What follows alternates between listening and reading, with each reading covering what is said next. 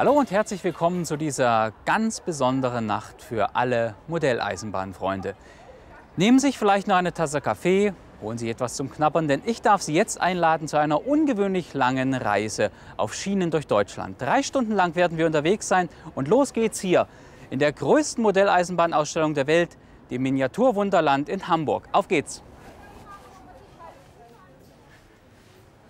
Hier gibt es die Superlative auf Schienen. Auf 9000 Meter Gleis sind 700 Züge mit ungefähr 10.000 Waggons unterwegs. Die Reise führt über 1900 Weichen und vorbei an 1500 Signalanlagen. Gesteuert wird alles von riesigen Computern. Klar, dass sich das Ganze längst zu einem Besuchermagneten entwickelt hat. Über drei Millionen Menschen waren schon da.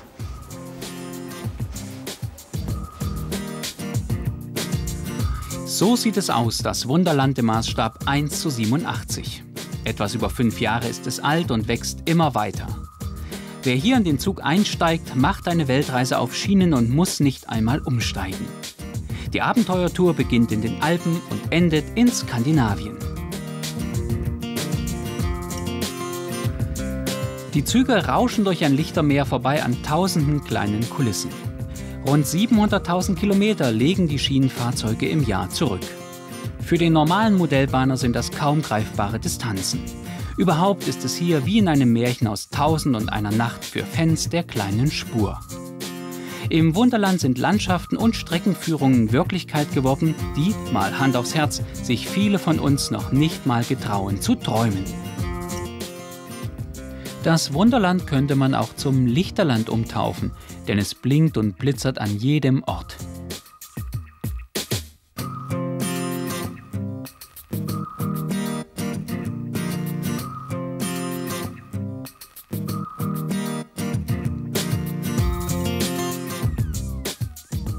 Mehrmals in einer Stunde dunkelt der Raum langsam ab, sozusagen ein Sonnenuntergang in den Räumen der Speicherstadt, und zeigt, wie die Züge auch bei Nacht ihre Bahnen ziehen.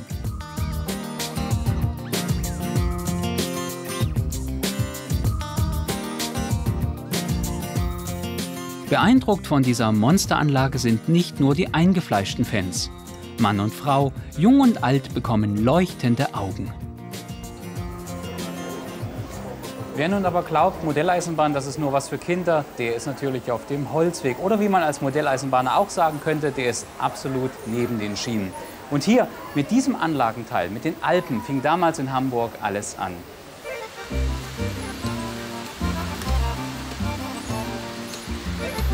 Eine gewaltige Berglandschaft. Hier fährt der Zug gerade über die Talbrücke, im Hintergrund das Ecksteinhorn. Und wie das in Österreich nun mal so ist, hoch oben darf natürlich der Schnee nicht fehlen und nicht die Gondeln, die die Skifahrer befördern.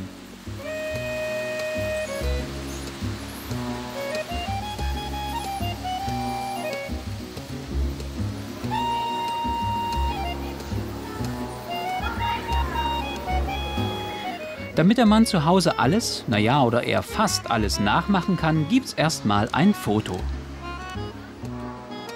Besonders interessant sind die Wasserflächen, die bei der Alpenanlage aus Gießharz gemacht sind. Toll an diesem Material sind die Reflexionen. Es wirkt halt wahnsinnig echt.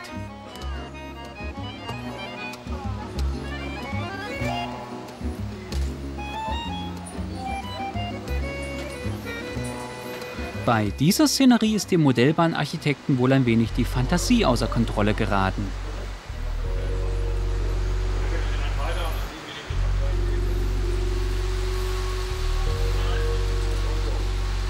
Dampfloks findet man auf dieser Anlage nur selten. Es sind fast ausschließlich moderne Schienenfahrzeuge im Einsatz. Mit einem Startkapital von 2 Millionen Euro fing alles an. Mittlerweile steckt ein Vielfaches in diesem Werk. Von Anfang an wollten die Macher nicht nur Modellbahnfreunde ansprechen. Deswegen war ihre Grundidee, dass die Landschaften mit ihren kleinen Geschichten genauso originell sein müssen wie das, was fährt.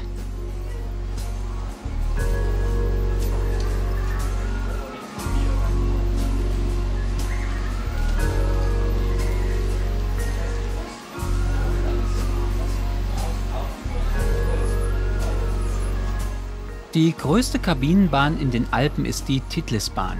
Aber auch Schneeflüge und Skifahrer gehören dazu. Und weil sich hier fast alles bewegt, wartet man förmlich auf die Pistenraudis, die die Abfahrt runterrasen. Aber die gibt es noch nicht. Ein Tipp für den Hobbybastler. Berglandschaften wirken nur so gigantisch, wenn man tatsächlich über einen Meter bauen kann. Wenn man imposante Landschaften zu Hause nachbauen möchte, beschränkt man sich lieber auf einen Bergausschnitt, ohne das ganze Massiv zu zeigen. Die Züge müssen unglaubliche Höhenunterschiede überwinden, nur so können sie über die Schauertalbrücke fahren. Und wie funktioniert das? Ganz einfach mit übereinanderliegenden Gleiswändeln. So sind oft mehr als zehn Züge im Gleiswendelkomplex damit beschäftigt, nach oben zu kurven, um weiter durch die gigantischen Berge zu fahren.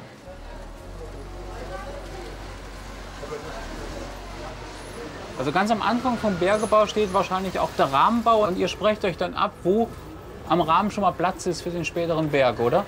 Ja, es gibt ja einen äh, Plan, der muss ja sein wegen der ganzen äh, technischen Sachen. Der Unterbau ist 50 mal 50, unser Grundgerüst.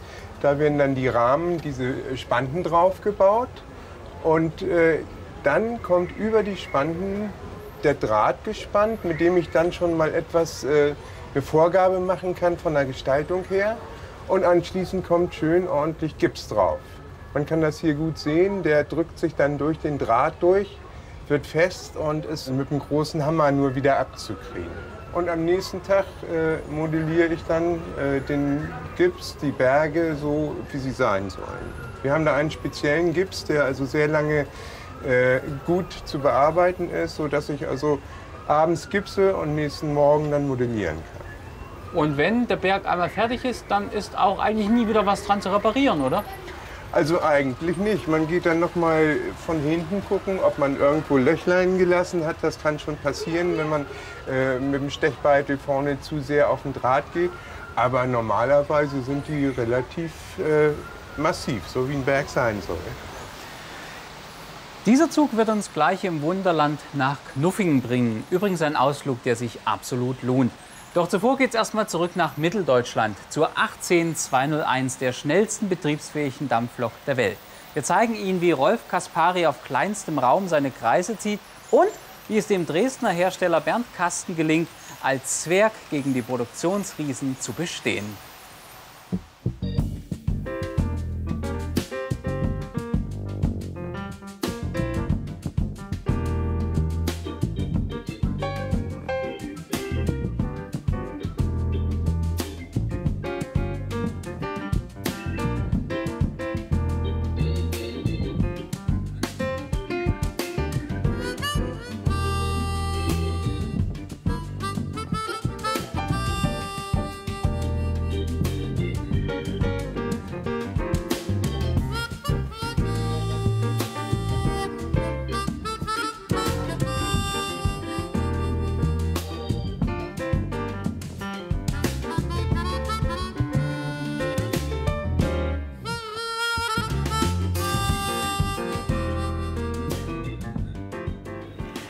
Und herzlich willkommen zur dritten Ausgabe von Auf kleiner Spur, dem Modellbahnmagazin nicht nur für Nietenzähler. Pfingsten 2002, woran denkt da der wahre Eisenbahnfreund? Natürlich ans Dresdner Dampflokfest. Hier dreht sich zwar viel um die große Eisenbahn, aber Sie wissen ja, die Vorliebe für die große Bahn geht oft genug einher mit der Liebe für die kleine. Und genau deshalb sind wir heute hier zu Gast.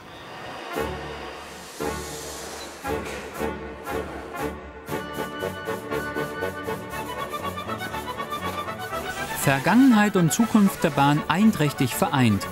Deutschlandweit feiert das keiner besser als die Dresdner. Nirgends zeigen sich mehr Loks, Wagen und Dampfbegeisterte.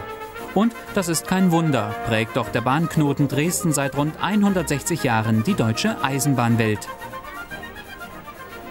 Später mehr vom Dampflokfest. Jetzt wollen wir erst mal sehen, was die Modellbahner im schönen Elbflorenz alles so drauf haben.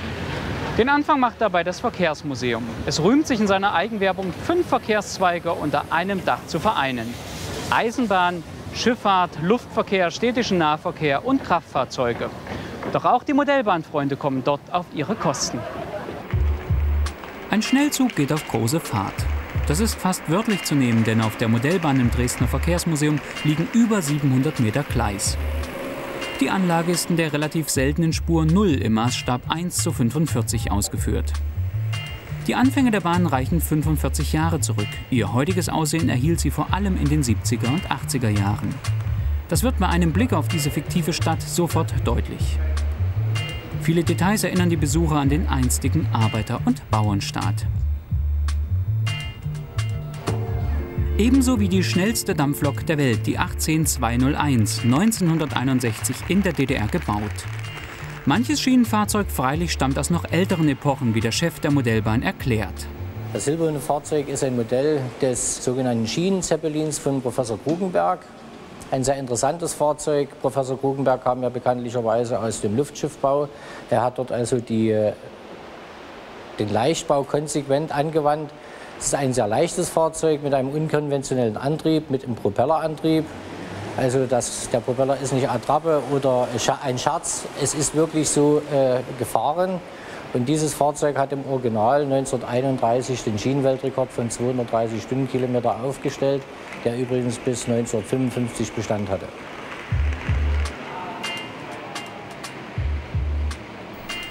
Nicht nur wegen des Schienenzeppelins gilt die Dresdner Modellbahn als eine der wichtigsten Spur-Null-Anlagen weltweit. Zu ihrem Ruhm tragen neben der Größe, die Anlage ist immerhin 45 Meter lang, auch weitere unvergessene Schienenstars bei. Der Henschel-Wegmann-Zug zum Beispiel sorgte Mitte der 30er Jahre als Schnellzug auf der Strecke Berlin-Dresden für Furore.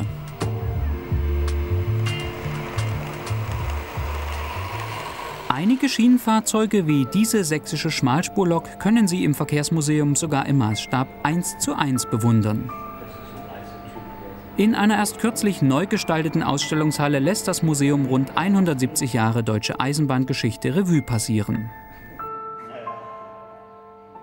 Den größten Teil nimmt dabei die Geschichte der Deutschen Reichsbahn mit all ihren Höhen und Tiefen ein.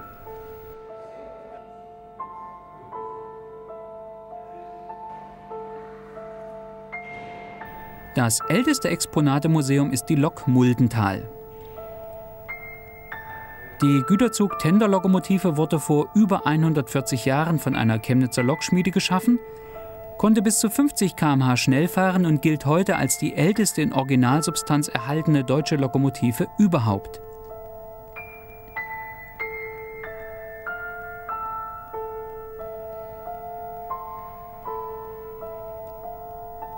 Geöffnet ist die Eisenbahnausstellung wie das gesamte Verkehrsmuseum täglich außer Montag. Im Gegensatz zur Spur 0 Modellbahnanlage. Die Züge dort können die Besucher nämlich nur mittwochs in voller Fahrt erleben. An diesem Tag sind dann auch die Triebwagen der integrierten Schmalspurbahn unterwegs. Diese Kleinbahn ist der bekannten Harzquerbahn nachempfunden.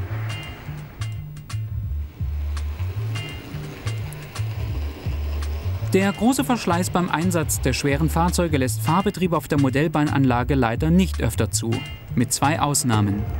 Zur Museumssommernacht am 13. Juli wird die Anlage ebenso in Betrieb sein wie zum Tag der offenen Tür am 1. September, wenn das Dresdner Verkehrsmuseum seinen 50. Geburtstag feiert. Vielleicht schauen Sie dann ja mal vorbei und gehen selber mit auf große Fahrt.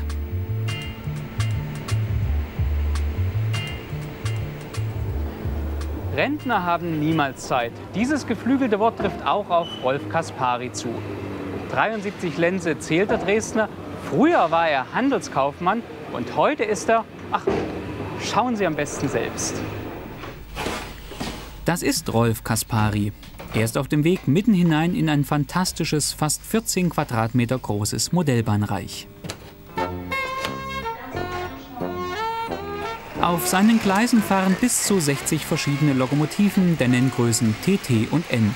Sie verkehren über 80 Weichen hinweg Rolf Kaspari frönt dem Modellbahnhobby seit viereinhalb Jahrzehnten.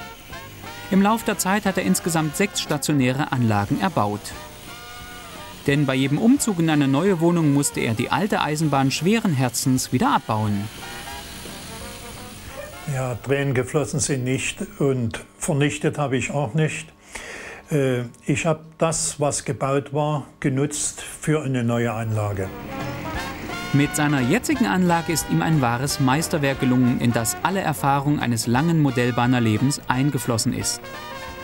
Das Bahnbetriebswerk ist mit so viel Liebe zum Detail gestaltet, dass man fast vergisst, dass es sich hierbei nur um ein Modell im Maßstab 1 zu 120 handelt.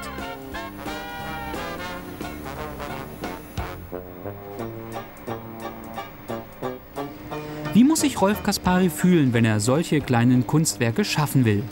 Also ich brauche eine gute Laune, aber auch wenn es mal trübe Stunden gibt, dann hilft ein so eine Anlage doch sich umzustimmen. Und ich bin eigentlich jede Woche an meiner Anlage tätig.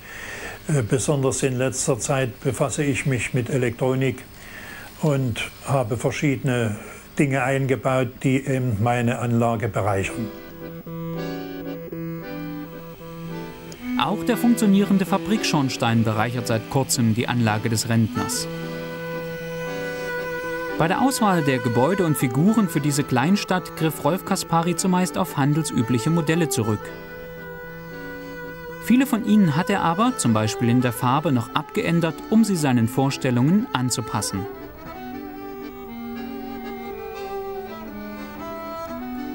Auf diese Weise ist ein lebendiges Panorama entstanden, das wie aus dem Leben gegriffen wirkt. Und wie das eben so ist im Leben, liegen Freud und Leid dicht beieinander. Während die Braut ganz in Weiß den schönsten Tag ihres Lebens genießt, nimmt nur ein paar Straßenzüge weiter derweil das Unheil seinen Lauf.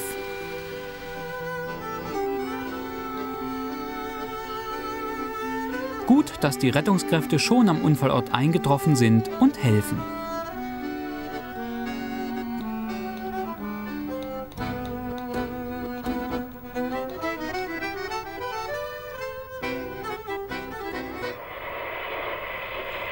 Seiner Lokomotiven, wie die kleine Mallet-Lok der Nebenbahn, schickt er mit Originalgeräuschen auf Reisen, um nicht nur Augen, sondern auch Ohren etwas zu bieten.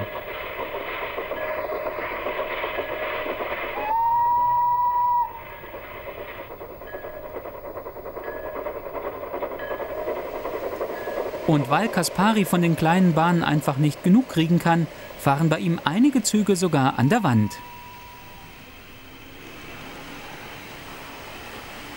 Mir hat es nicht gefallen, dass eine Kulisse hergestellt wird auf dem Bogen Papier oder gemalt. Ich brauchte etwas Plastisches. Und auf meiner Anlage fahren ja neben der Normalspur im TT auch die Kleinbahn in der Größe N. Und so habe ich mir gedacht, also in der Kulisse könnte eine N-Spur laufen. Doch nicht nur in der Kulisse ist Kaspari eine interessante Lösung geglückt. Auch das selbstgebaute Drei-Schienengleis sowohl für TT als auch für N-Bahn ist sehenswert.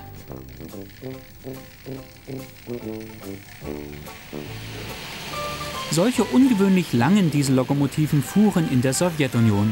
Da es diese Loks nicht als TT-Modell gibt, baute sich Kaspari kurzerhand aus zwei handelsüblichen 130ern in Rot selbst ein Exemplar davon und strich es grün an.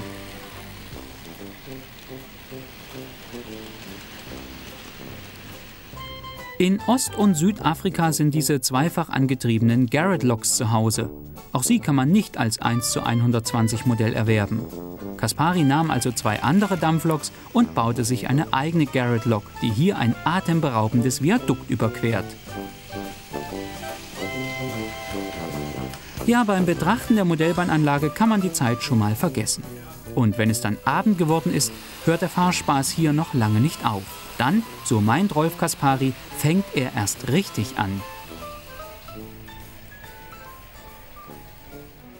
Diese H0-Anlage ist eine der Modellbahnen auf dem Dampflokfest.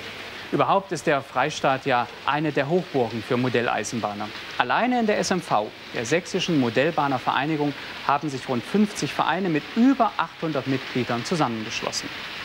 Auch auf Produzentenseite hat das Bundesland einiges zu bieten. Hersteller wie Tillich oder Gützold kennen bestimmt auch viele Nicht-Modellbahner. Die Firma BK dagegen dürfte wohl nur Insidern ein Begriff sein. Der Name leitet sich von den Anfangsbuchstaben des Chefs, Bernd Kasten, ab. Der ist hier auf dem Dampflokfest mit einem eigenen Stand vertreten. Und was er sonst so treibt, das sehen Sie jetzt. Straßenbahnen des Dresdner Herstellers BK im Einsatz. Sie verkehren auf der Anlage eines kleinen Modellbahnclubs in Dresden. Gerade mal acht Mitglieder hat der Verein und fahrende Eisenbahnen sucht man auf ihrer neuen Anlage vergeblich. Hier dreht sich alles um die Straßenbahn, für deren Trasse extra eine Wand durchbrochen wurde. Die Vorliebe für das innerstädtische Verkehrsmittel kommt nicht von ungefähr. Eines der ältesten und aktivsten Clubmitglieder ist der Produzent all dieser Straßenbahnen, Bernd Kasten, seit langem passionierter Modellbauer. Ja, ich habe praktisch das Hobby zum Beruf gemacht und erst mal nebenbei laufen lassen und dann ging es von der Zeit her nicht mehr und dann habe ich ein Gewerbe angemeldet. Heute ist der Firmenchef auf dem Weg nach Pulsnitz. Dort befindet sich eine Druckerei. Sie verleiht Kastens Produkten, die im Maßstab 1 zu 87, also für die Nenngröße H0 angeboten werden, das gewisse äußere Etwas. Guten Tag, Herr Kasten. Habe wieder mal eine Serie Straßenbahn zu bedrucken. In Pulsnitz werden alle BK-Modelle mit filigranen Aufdrucken versehen. Nicht nur Straßenbahnen, sondern auch Autos und deren Zubehör, wie die Plane dieses alten Bierlasters. Mit der Herstellung von Automodellen stieg der gelernte Werkzeugmacher 1985 nebenberuflich in die Modellbaubranche ein. Inzwischen hat Bernd Kasten vor allem unter den Modellbahnern im Osten einen guten Ruf. Schließlich bietet er Fahrzeuge an, die früher das hiesige Straßenbild prägten. Eines davon ist der H6-Bus, der in den 60er Jahren von DDR-Straßen nicht wegzudenken war. Bei seinen Modellen greift Kasten mit Absicht auf ältere Vorbilder Made in GDR zurück. Das ist praktisch das, was in die Dampflokzeit reinpasst und in der ganzen DDR gefahren ist. Was äh, von der großen Industrie nie angeboten wurde. Sozusagen eine Marktlücke. Die Ausweitung der Modellpalette treibt der Firmenchef langsam, aber zielstrebig voran. Hier hat es ihm der Robobus Ello 3000 aus Zittau angetan. Er soll neu ins Programm aufgenommen werden.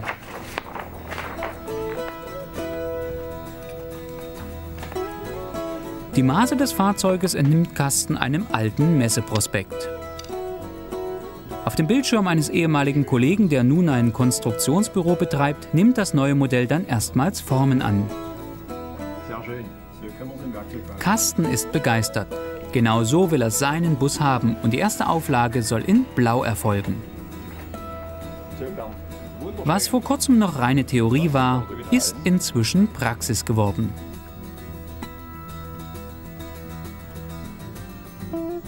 Mittlerweile gibt es den Ello-Bus sogar schon in weiteren Farben. Und was kommt als nächstes? Wahrscheinlich eine Variante vom Robo, einfach um jetzt aus Kostengründen die Werkzeuge etwas mehr auszulasten. Und wir haben ja jetzt hier so ein schönes Blatt, wo noch andere Varianten drauf sind und mal sehen, vielleicht finde ich was, was mir gefällt. Vielleicht wird die künftige Robur-Variante ja solch ein Verkaufsschlager wie das Modell des kleinen Hechts, einer legendären Straßenbahn, die seit 1999 von BK hergestellt wird. Der kleine Hecht, ohne den die Dresdner Verkehrsgeschichte undenkbar wäre, ist auch auf den Schienen in Kastens Modellbahnclub unterwegs. Wenn er dort seine Runden dreht, dann wird aus dem Firmenchef wieder der Modellbahner Kasten, der sich auf diese Weise zugleich wunderbar vom aufregenden Tagesgeschäft entspannen kann. Und auch wenn er hofft, dass seine Produktion durch neue Straßenbahn- und Fahrzeugmodelle künftig weiter wächst, eines hat sich Bernd Kasten für die Zukunft ganz fest vorgenommen. Zeit für den wöchentlichen Clubabend mit den alten Freunden muss auch weiterhin bleiben. Mit seinen gerade mal acht Mitgliedern zählt Bernd Kastens Modellbahnverein eindeutig zu den kleineren seiner Art. Ganz anders die Situation beim MEC Radebeul Kötschenbroda. Hier gehen 40 Männer gemeinsam ihrem Hobby nach und das seit nunmehr vier Jahrzehnten. Zweimal pro Woche kann man ihnen bei der Arbeit auf die Finger schauen, den Modelleisenbahnern von Radebeul Kötschenbroda. Immer montags und freitags kommen sie im Vereinshaus ihrer Heimatstadt zum Clubnachmittag zusammen. Der Verein profitiert von der Vielzahl seiner Mitglieder, denn die stammen aus den unterschiedlichsten Berufen. Da gibt es zum Beispiel Elektriker, Ingenieure und sogar einen Zimmermann. Kurzum, jede Menge Leute, deren berufliche Fertigkeiten bei der Vereinsarbeit von Nutzen sind. Die Mitglieder kommen freilich nicht nur zum Arbeiten in den MEC. Mindestens genauso wichtig ist das gesellige Beisammensein vor, während oder nach den Clubnachmittagen. Zu besprechen oder zu feiern gibt es immer etwas. Und oft genug hat eine der Ehefrauen auch noch Kuchen für alle gebacken. Heute hat ein Vereinsmitglied sein neuestes Modell mit in den Club gebracht und führt es den Männern um Vereinschef Werner Frenzel vor. Der gemütliche Teil ist natürlich hier da. Die Leute, die nach der Arbeit kommen, die setzen sich erstmal hin und müssen erstmal ausspannen, bevor es hier an die Arbeit geht. Wir sind also 40 Personen im Club und sind am Abend, wenn sie dann alle eingetrudelt sind, sind wir so ungefähr 25 aktive Leute. Und die wollen natürlich sich austauschen und so weiter. Und da ist es manchmal sehr schwer, dann noch zu sagen, aber heute wird was geschafft. Na, ganz so schlimm ist es auch nicht. Meistens wird ja doch etwas geschafft. Und das nicht nur im Verein. Viele Mitglieder betreiben in den eigenen vier Wänden noch eine private Modelleisenbahn. Hans Neblung zum Beispiel. Während er es im Club mit den Spuren 0 und 2M zu tun hat, frönt er zu Hause seiner TT-Bahn-Leidenschaft.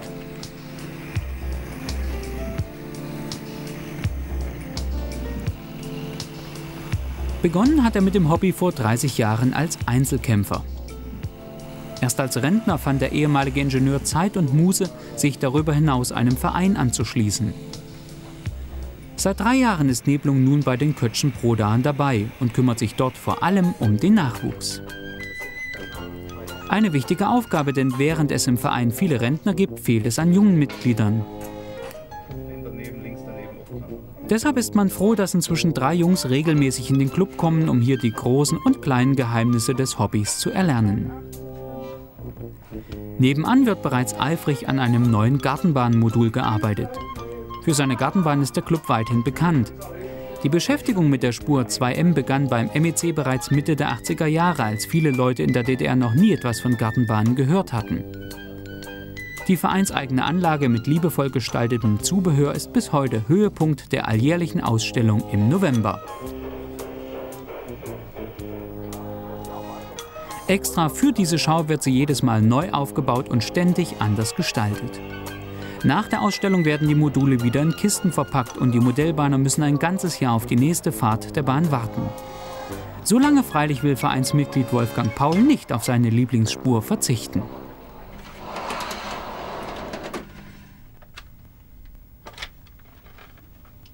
Hallo Peter, der Sachse kommt, übernimm bitte. Okay, ich übernehme.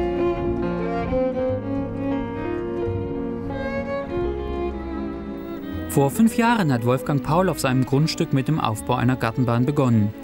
Inzwischen findet hier regelmäßig Fahrbetrieb statt, oft tatkräftig von anderen Vereinsmitgliedern unterstützt. Wo einst Radieschen und Zwiebeln wuchsen, warten jetzt Fahrgäste auf ihren Anschlusszug. Während er früher zum Unkrautjäten in den Garten ging, tritt Wolfgang Paul heute an gleicher Stelle als Lokführer, Fahrdienstleiter und Zugbegleiter auf. Und das entgegen einer landläufigen Meinung nicht nur in der warmen Jahreszeit.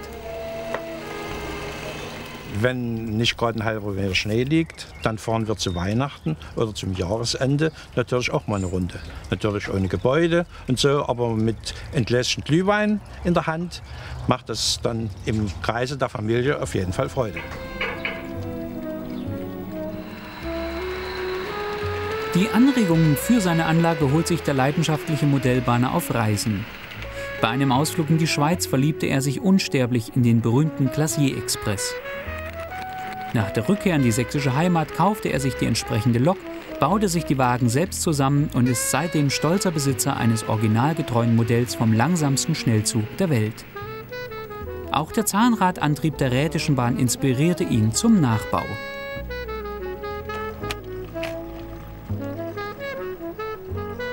Wie beim großen Vorbild klettert der kleine Zug nun durch die alpinen Hänge des Steingartens nach oben. Petra Paul, die Ehefrau des Gartenbahners, hat nur langsam zum Hobby des Mannes gefunden. Anfangs war sie lediglich für die Bepflanzung der Anlage verantwortlich. Eines Tages war ihr das nicht mehr genug. Sie wünschte sich eine Straßenbahn und bekam sie auch. Heute ist sie für den Betrieb auf der Trambahnstrecke voll und ganz verantwortlich und verbringt mit ihrem Mann so manche gemeinsame Stunde an der Gartenbahn.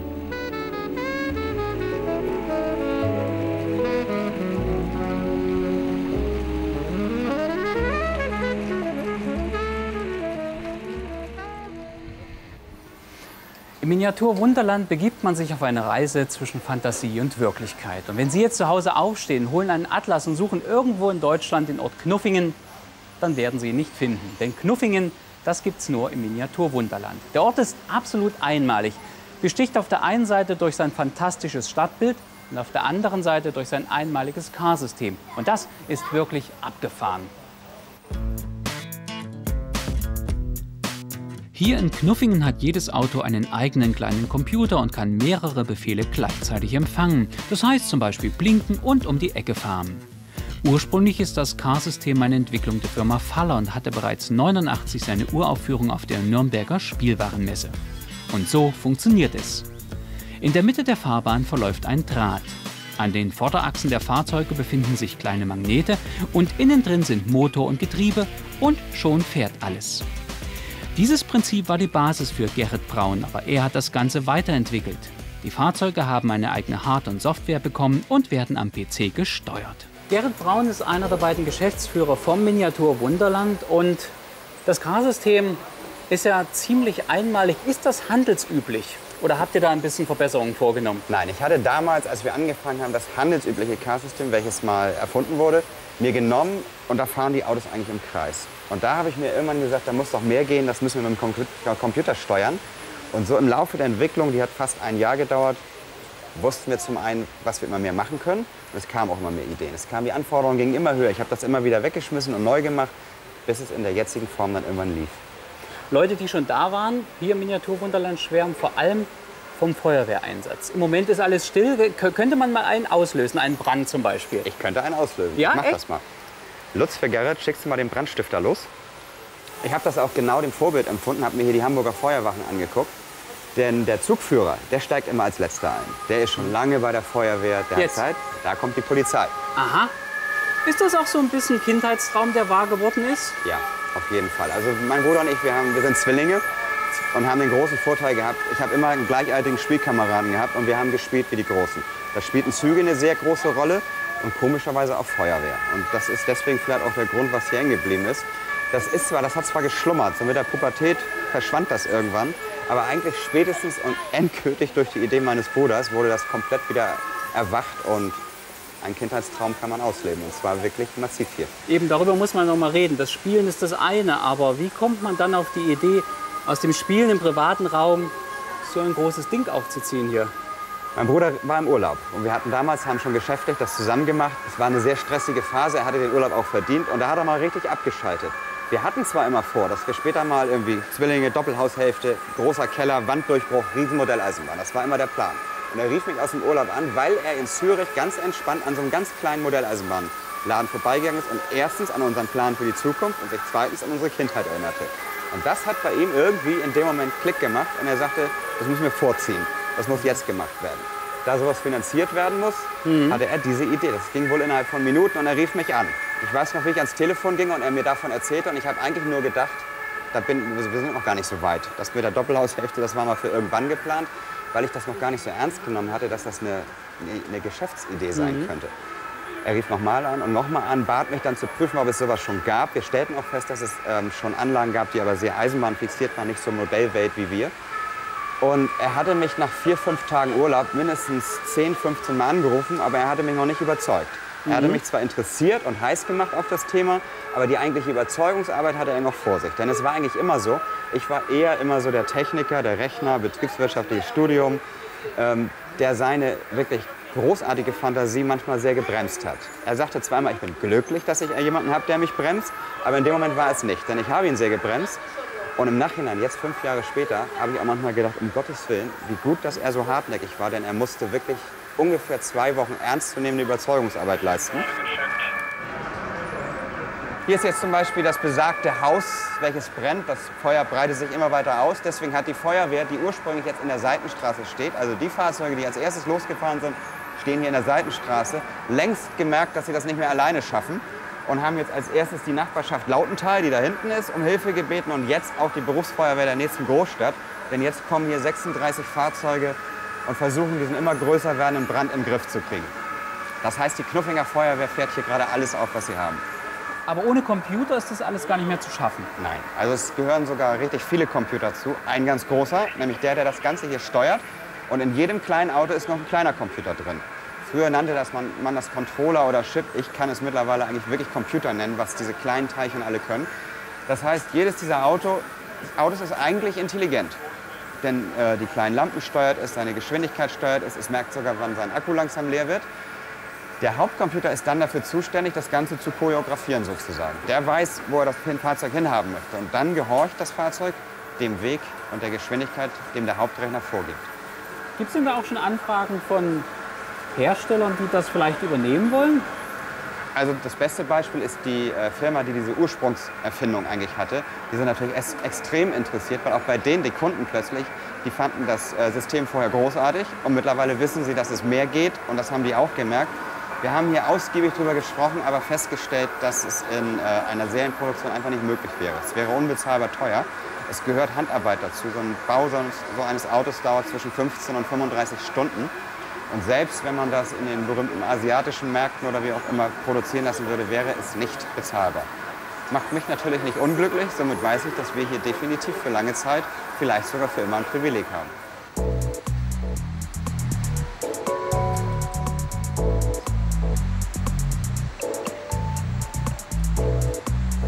Wir machen einen kurzen Abstecher nach Skandinavien. Im Norden werden die Schiffe bislang nur per Hand durch die sogenannte Nordostsee gelenkt. Damit die Landschaft besonders echt wirkt, hat man hier ein richtiges Wasserbecken gebaut. So, dann wollen wir sehen, dass wir die Pacific auch sicher durch unser Hafengebiet hier lenken, weil die soll nachher ja auch richtig anlegen am Kai, um dort entladen zu werden.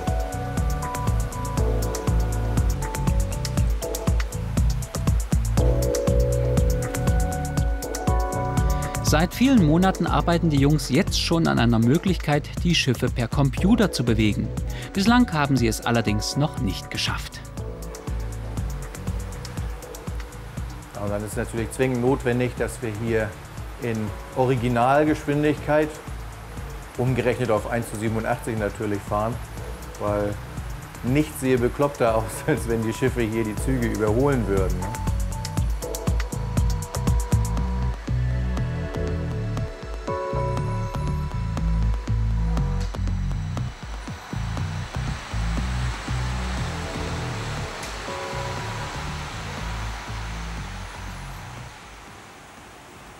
Klar, Gerrit, für einen Hamburger wie dich ist Wasser natürlich immer ein Thema. Sind wir denn jetzt im Hamburger Hafen?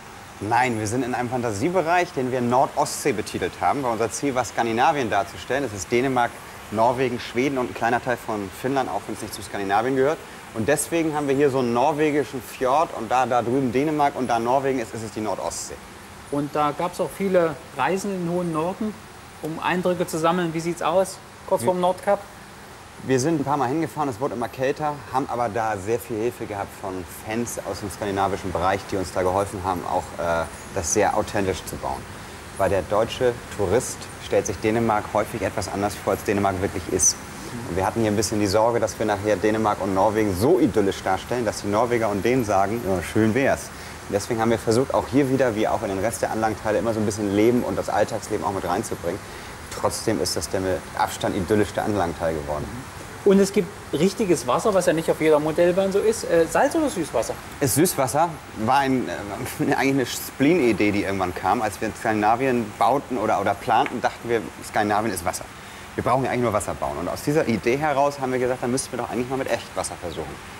Kam sofort auch die Schiffidee dazu und Fähre und alles. Das war eigentlich innerhalb von ein, zwei Stunden entstanden. Aber dann kamen die Probleme, weil wie kriegt man dieses Wasser so hin, dass das nicht umkippt, wie man sagt, mhm. dass da nicht sich Algen bilden, dreckig ist, dass man nicht mehr durchgucken kann. Da haben wir am Anfang gedacht, dass es viel Chemie sein müsste, haben uns aber auch sofort gesagt, dass wir das nicht gut finden würden, auch vom Geruch her nicht und von der, vom Umweltaspekt her nicht. Und hatten eigentlich zwischendurch eine ziemlich witzige Lösung. Als wir dachten, dass wir es nicht hinkriegen würden, dass das Wasser hier nachhaltig gut bleiben würde, haben wir hier unten eine Leitung verlegt, die gibt es auch immer noch, in die Toiletten, weil wir ungefähr 10.000 Liter Wasser jeden Tag durch die Besuchertoiletten spülen. Wenn wir jetzt ungefähr diese 30.000 Liter alle drei Tage umwälzen würden und durch die Toiletten entsorgen würden, würden wir keinen einzigen Liter mehr Wasser verbrauchen und trotzdem ein sauberes Becken haben. Wir sind aber sehr glücklich, dass wir es nicht brauchten, denn wir haben eine Lösung gefunden, dass wir es eigentlich nur so alle fünf bis sechs Monate mal tauschen müssen und ohne Chemie das Ganze eigentlich im Griff haben. Die Schiffe sind nur Staffage? Nee, das ist ein, ähm, gleichzeitig ein großes Spielzeug wie auch ein Problem für mich. Denn mein Ziel war es, die Schiffe computergesteuert fahren zu lassen. Und ich hänge da etwas hinterher. Wir sind ein kleines Team, die da eine haarsträubende Entwicklung, weiß ich, mittlerweile vorhatten. Denn haarsträubend deswegen, weil wir gedacht haben, die Physik doch ziemlich linken zu können. Aber mittlerweile hat die Physik uns eingeholt und wir brauchen noch ungefähr, ich schätze mal ein halbes Jahr, bis hier 30 Schiffe computergesteuert selbst fahren werden. Im Moment setzen wir eher so die Biocomputer ein. Aber Sie fahren also Sie fahren, schon, Sie fahren jeden. Tag. Wir steuern sie nur überwiegend mit der Hand erstmal. Es gibt jetzt so eine Zwischenlösung, da hilft der Computer mittlerweile. Aber die Grundsteuerung funktioniert mit der Hand. Das heißt, diese Fähre kann auch Ja. in See stechen? Also vorausgesetzt, wir machen die Leinen los. Also Leinen los. Leinen los.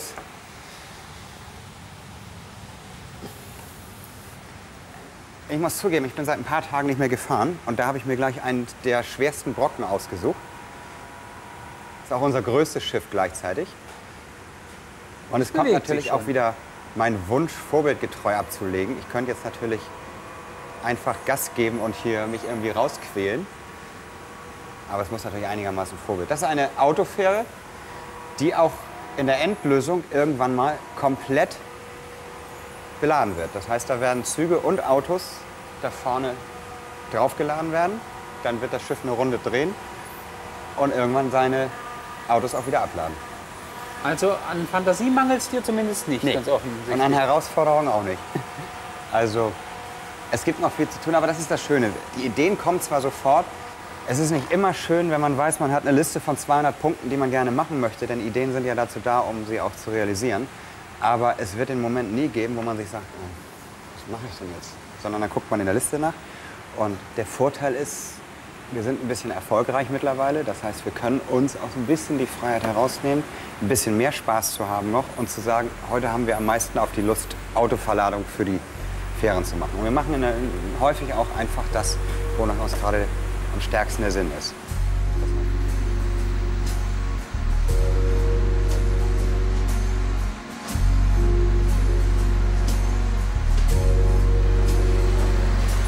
Im Wunderland teilen sich die skandinavischen Staaten die große Hafenanlage. Am Kai werden die Container und das Stück Gut umgeschlagen.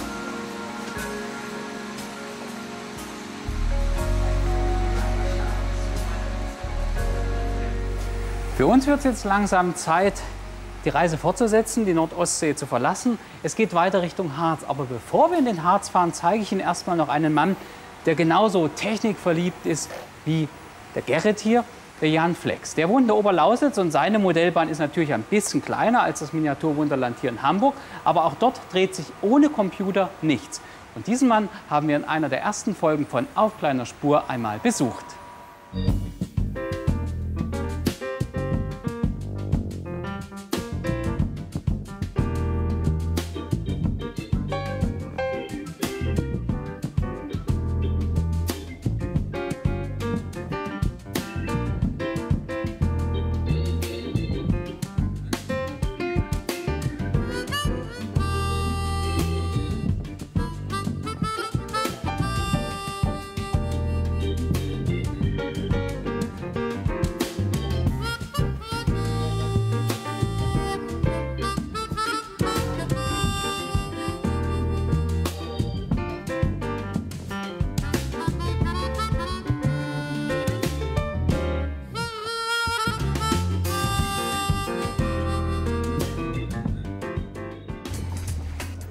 Weihnachtszeit ist Hochzeit für Modelleisenbahnen, auch in Bernburg.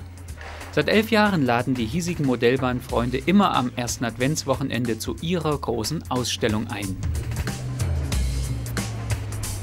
Wir vom Modellbahnmagazin auf kleiner Spur sind mitten hineingeraten in die Vorbereitungen zur diesjährigen Präsentation. Doch bevor die Besucher hier im großen Saal des Kurhauses von Bernburg die ersten Züge fahren sehen können, müssen sich die Vereinsmitglieder noch richtig reinknien.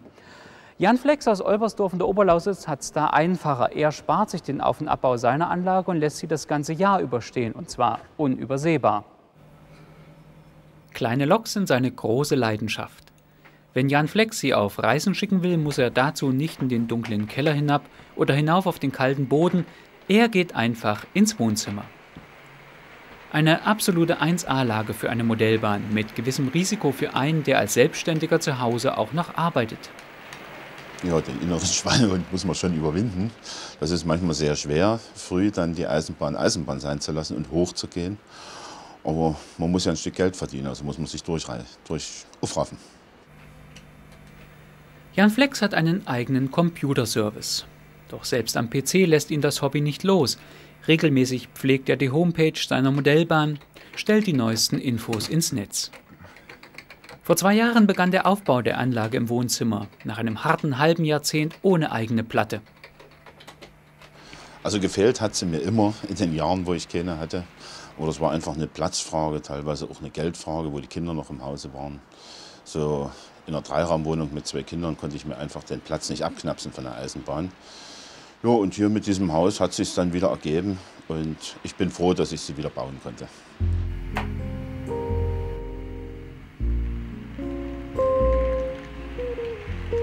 Beim Aufbau der neuen Bahn kam dem gelernten Elektroniker sein Beruf zugute. Jan Flex hat ein Computerprogramm geschrieben, das den gesamten Verkehr auf der Anlage automatisch steuert. Selbst Loks wie die Sachsenstolz werden mit Hilfe der Software selbstständig aus dem BW geholt und über eine Drehscheibe in den Fahrbetrieb eingefädelt.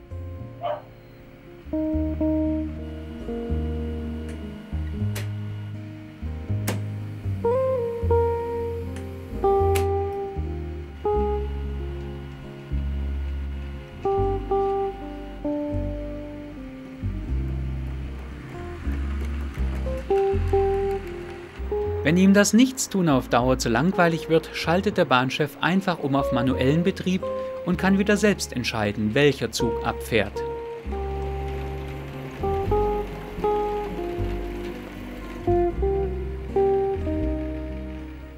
Weil der Modellbahner bis jetzt erst ein Drittel des Wohnzimmers okkupiert hat, liebäugelt er durchaus mit einer weiteren Expansion. Also wenn ich meine Frau überredet kriege, das Sofa wegzutun, dann könnten wir hier noch drei Meter gut dran bauen. Aber das ist nicht, die bleibt so groß, wie sie ist. Deshalb wird sich der Oberlausitzer künftig vor allem um die weitere Landschaftsgestaltung seiner H0-Anlage kümmern. Erste Anfänge sind bereits gemacht, wie der Blick auf einige Details verrät.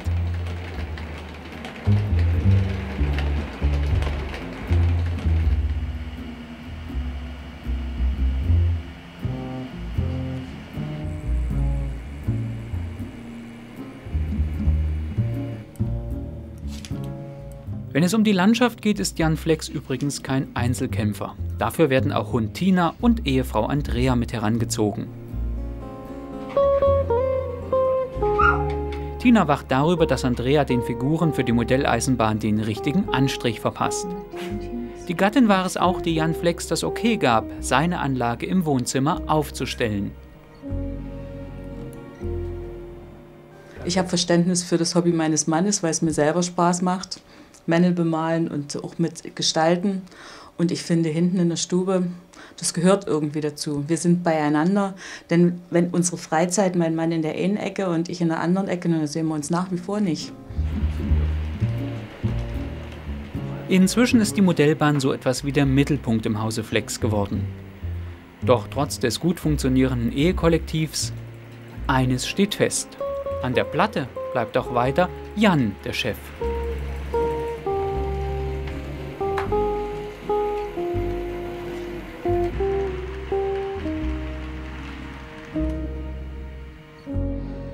Diese schnelle 18201 ist einer der Schienenstars der Bernburger Modellbahnfreunde.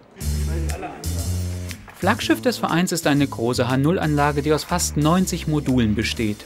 Und die wollen erst einmal zusammengeschraubt sein. Die Aufbauarbeit hält 20 Erwachsene und nochmal so viele jugendliche Vereinsmitglieder einen ganzen Tag lang auf Trab. Für die Koordination in dem scheinbaren Wirrwarr ist der Vereinschef zuständig. Der muss sich darüber hinaus auch um viele Kleinigkeiten kümmern. Wie den Schülern eine Entschuldigung schreiben, eine Freistellung beantragen für heute, dass sie heute uns helfen können. Denn wie Sie sehen, ist ja eine Riesenanlage und das ist doch mit viel Kraftaufwand zu bewältigen und da braucht man jede Hand. Wenn die Module endlich in der richtigen Reihenfolge stehen, müssen die Elektriker ran und für einen sicheren Stromfluss von Anfang bis Ende sorgen. An den Übergängen gibt es in jedem Jahr die größten Probleme. Und immer wieder sitzt den Modellbahnern die Zeit im Nacken. Der letzte Tag läuft immer sehr hektisch ab, weil äh, in der Größenordnung können wir so nur einmal im Jahr zeigen, immer nur zum ersten Advent, weil das der einzige Saal ist, der genügend Größe hat. Und es ist immer ein bisschen ein Problem, ob äh, technische Veränderungen, die wir gemacht haben an einigen Modulen, dann mit den anderen zusammenpassen. Also das ist schon kritisch. Aber eigentlich haben wir es immer so gegen 16 Uhr hingekriegt, dass die Anlage 16 Uhr den ersten Probebetrieb macht. So auch in diesem Jahr. Kurz vor vier am Nachmittag werden die ersten Wagen aufgegleist und dann rollt endlich die erste Lokomotive aus dem BW.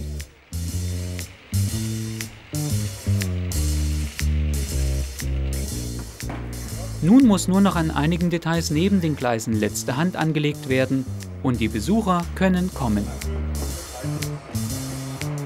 Die verbleibende Zeit bis zur Ausstellungseröffnung nutzen wir für einen Rückblick. Mitte Oktober fand in Leipzig die Modell- und Hobby statt, ein wichtiger Treff für die Modellbahnbranche. Nicht ganz so bedeutend wie die weltberühmte Nürnberger Spielwarenmesse, aber mit einem entscheidenden Vorteil. Denn in Leipzig dürfen nicht nur Fachbesucher, sondern alle rein.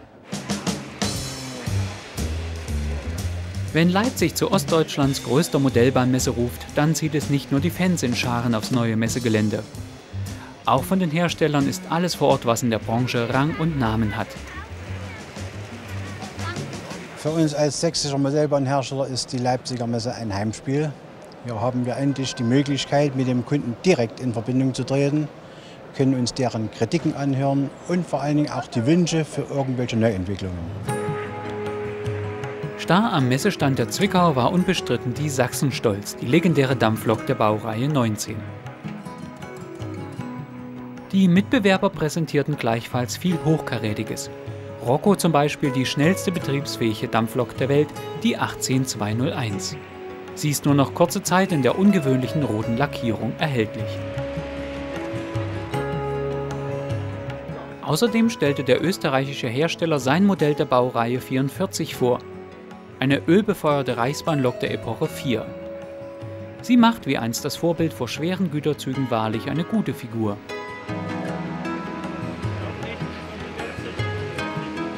Doch auch kleine Anbieter waren präsent.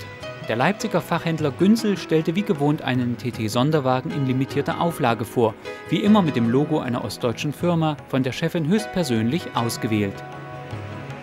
Die Ideen kommen so sporadisch beim Einkaufen. Wenn ich durch die Regale schlendere und sehe die äh, Ostprodukte, dann überlege ich mir, das ist eigentlich ein schönes Logo und das könnte vielleicht ein Motiv für unseren nächsten Sonderwagen sein. Der weltgrößte TT-Bahnhersteller aus Sebnitz brachte die Sonderedition einer V100 in der einmaligen Messelackierung von 1966 an den Start.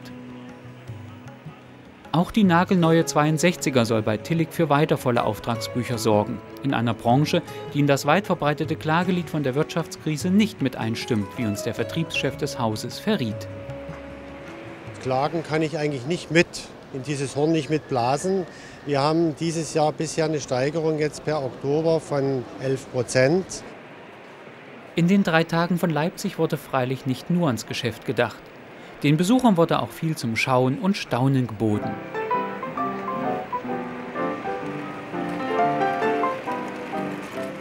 Eine der schönsten auf der Messe gezeigten Anlagen war die von Lothar Böhmel. Der Mann aus Taura hat sich seit Jahren den sogenannten Tinplate-Bahnen verschrieben, also Loks und Wagen aus Blech.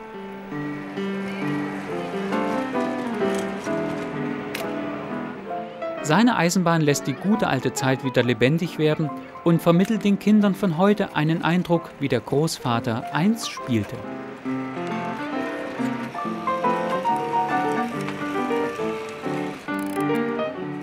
Die Züge der Firmen Märklin und Bing, die auf Böhmels Spur 1 Anlage unterwegs sind, entstanden in der Zeit des Übergangs von der reinen Spielzeug zur detaillierten Modelleisenbahn.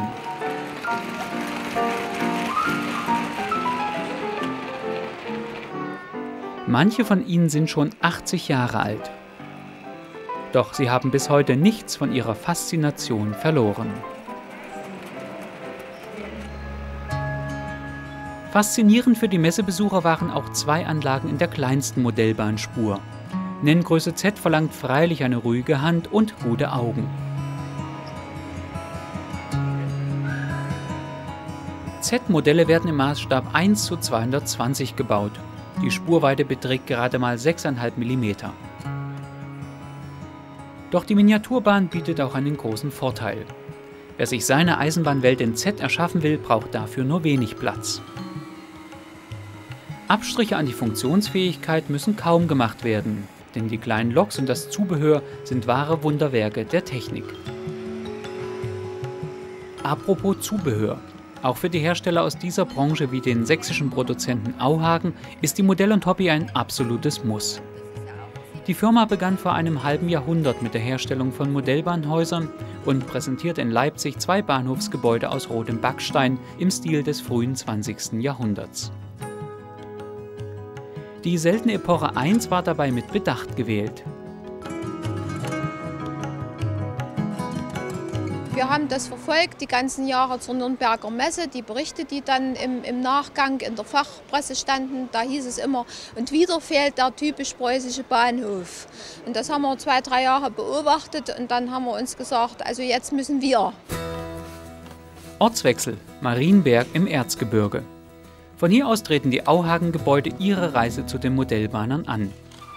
Rund zwei Dutzend Mitarbeiter stehen in Lohn und Brot, sorgen für Herstellung, Verpackung und Vertrieb. Die Häuser werden als Bausätze angeboten und sind größtenteils für die Nenngrößen H0 und TT bestimmt.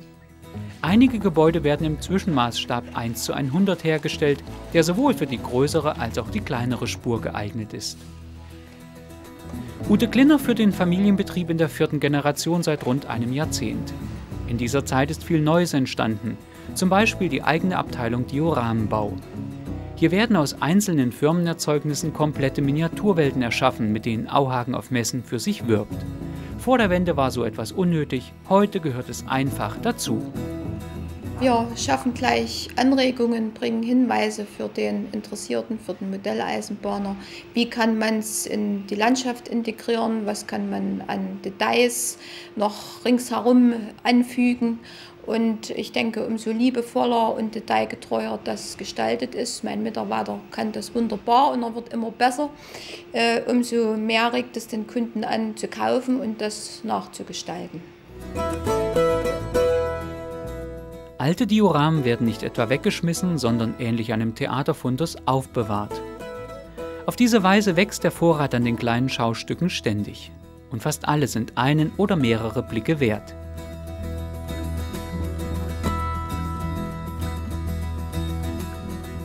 Auch die eigene Firmengeschichte lässt sich anhand von Dioramen ablesen. Diese Häuser stammen aus der Frühzeit der Gebäudeherstellung. Damals in den 50er und 60er Jahren waren sie noch aus Pappe oder Karton.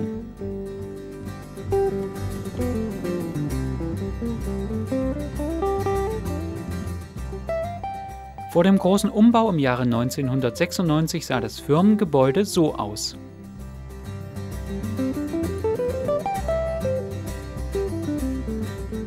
1999 verwüstete ein Hochwasser das mittlere Erzgebirge.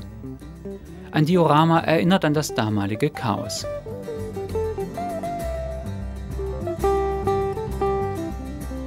Das ist die Geschichte. Hier wird die Zukunft gemacht. Die Chefin hat zur Beratung gebeten. Es geht um die Neuheiten der nächsten Jahre. Geht um die Frage, ob man wieder mit großen Bahnhöfen oder lieber mit kleinen Gebäuden wie einem Lokschuppen aufwartet. Ute Klinner hört sich die Argumente ihrer Mitarbeiter geduldig an. Die Entscheidung bleibt ihr vorbehalten. Die gelernte Wirtschaftskauffrau trat erst im Zuge der Reprivatisierung ins väterliche Unternehmen ein und gelangte so über Nacht in eine Führungsposition. Bereut hat sie diesen Schritt nicht. Es macht viel, viel Spaß und ich möchte eigentlich auch keinen Chef oder keine Chefin wieder haben. Ich bin so ganz glücklich mit viel Verantwortung, viel Risiko, aber trotzdem soll so bleiben. Nicht nur in der Geschäftsführung, auch in dieser Abteilung wird über den Erfolg entschieden. Hier werden die Werkzeuge für neue Produkte hergestellt, wird beispielsweise festgelegt, wie das Dach eines Wohnhauses später aussehen wird.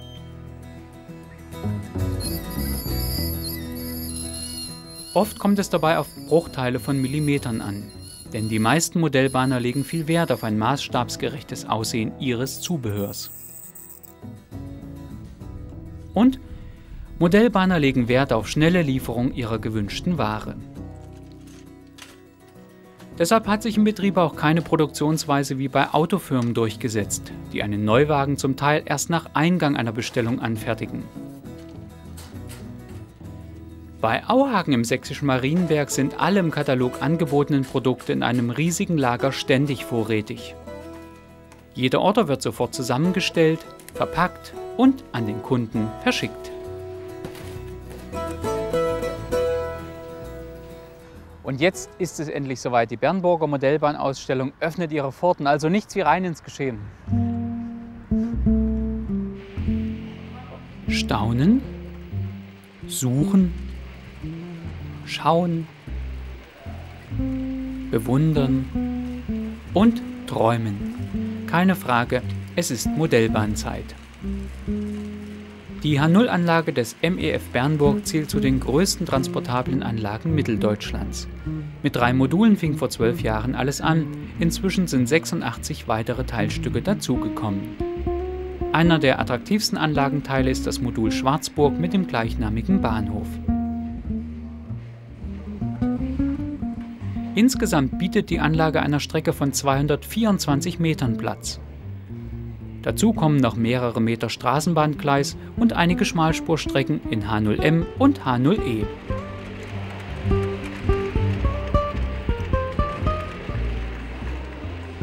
Sehr schöne Ausstellung, also verblüffend, was in der Kleintechnik alles möglich ist. Mein Mann ist eingefleischter Eisenbahn-Fan. Da müssen Sie immer mit. Da muss ich immer mit. ich bin eigentlich wegen meinem Enkel, der möchte es gerne und ich interessiere mich auch dafür. Da ist der Enkel ein guter Vorwand. Ja, das ist ein guter Vorwand, aber ich gehe auch gerne hierher. Sind Sie auch privat zu Hause Modellbahner? Ja, bin ich auch. Und mein Enkel ebenfalls. Alle kleinen und großen Modellbahner können sich beim Ausstellungsbesuch Anregungen für zu Hause holen. Sehenswert die Gleisarbeiter an der Nebenbahn. Wer weiß, vielleicht fährt hier ja demnächst wieder ein Zug.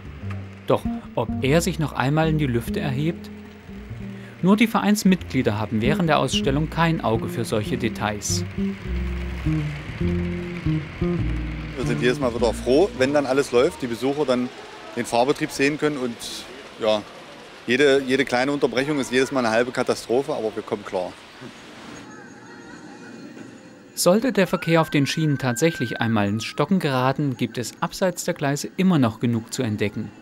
Einen riesigen Rummelplatz zum Beispiel. Die Fahrgeschäfte, die hier um Kundschaft buhlen, sind allerdings nicht Marke Eigenbau, sondern stammen von einer Firma aus dem Schwarzwald. Damit die Illusion perfekt wird, sorgen die Modellbahner für den richtigen Ton. Unter der Platte steht ein Kassettenrekorder mit Geräuschen von einem echten Rummel.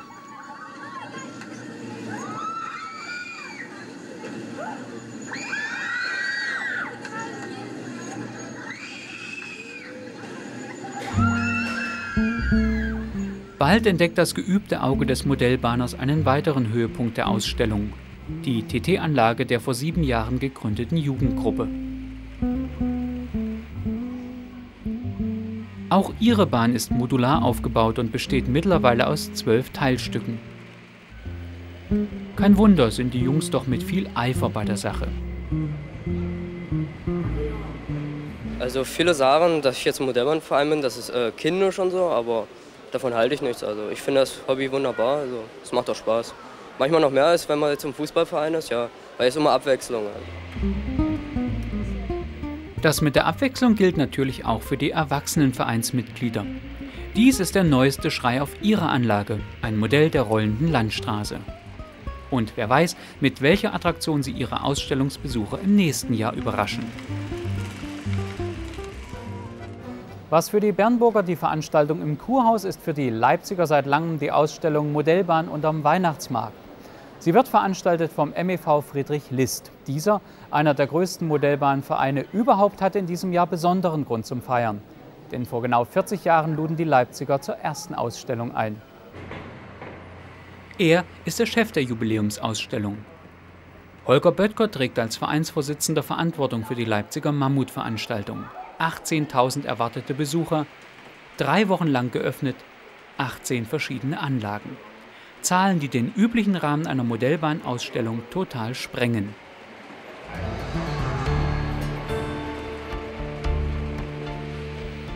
Den Gästen ist es recht, denn sie bekommen für ihr Eintrittsgeld jede Menge zu sehen.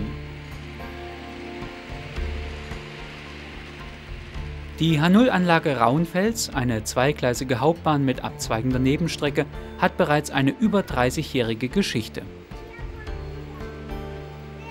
1969 begann die Planung, zwei Jahre darauf war Baubeginn und seit 1973 rollen hier die Züge. Später erhielt die Hauptstrecke zusätzlich eine Oberleitung. Der Modellbahnverein Friedrich List ist so groß, dass seine Mitglieder ihrem Hobby in verschiedenen Gruppen nachgehen.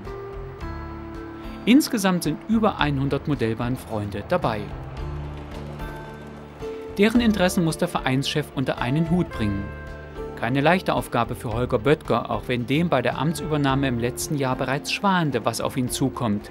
Also da ich ja vorher auch schon aktiv im Verein war, habe ich eigentlich schon so ungefähr geahnt, was das wird. Es war ein bisschen dann doch überraschend, dass eine Menge mehr dabei ist, die man so nicht wusste. Und eben der Nachteil ist, dass man ja noch voll berufstätig ist und die ganzen, die man jetzt hier mit Behörden hat, die Termine immer irgendwie einschieben muss. Der nächste Morgen. Holger Böttger, gelernter Nachrichtentechniker auf dem Weg zur Arbeit. Er ist Projektleiter in der Telekommunikationsbranche. Im Moment installiert er mit seinem Kollegen in einer Leipziger Vermittlungsstelle neueste Internettechnologie. Acht Stunden lang heißt es nun für ihn TSDL statt TT, Breitbandkabel statt Schmalspurbahn.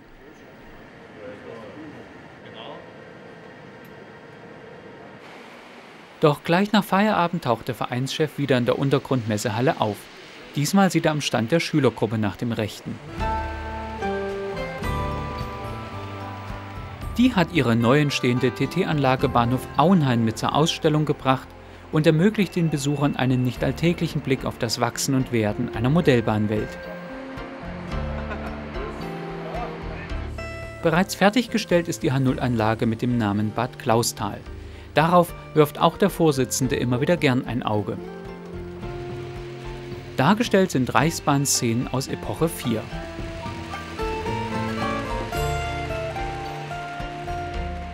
Besonders sehenswert sind die wunderschön gealterten Fahrzeuge.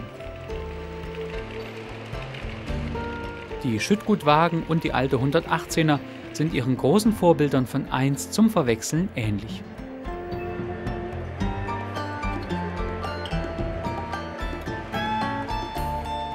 Das Modellbahnhobby frisst viel Zeit und bei einem, der einen Posten wie Holger Böttger hat, ist es noch mehr. So steckt er immer wieder im Zwiespalt zwischen Hobby und Ehefrau. Ja, es gibt da manchmal einige Probleme doch wenn man dann ja so in der Woche drei Tage nicht mehr abends zu Hause ist. Das gibt schon einige Schwierigkeiten zu Hause. Aber wir haben es ganz gut gemeistert bis jetzt und so wäre es auch seit Jahren und damit ist es eigentlich klar. Auch das ist eine Vereinsanlage von Friedrich List. Der Nachbau der Schmalspurbahn Gerabpforten-Wuiz-Mumsdorf in H0M. Ein Highlight ist der Schienenbus. Es gab in Mitteldeutschland nur ein einziges Exemplar davon, das ab 1929 eingesetzt wurde. Die Wulz-Mumsdorfer Kleinbahn wird wohl auch im nächsten Jahr wieder ein Anziehungspunkt der Leipziger Modellbahnausstellung sein. Allerdings weiß noch niemand, wo die stattfinden wird.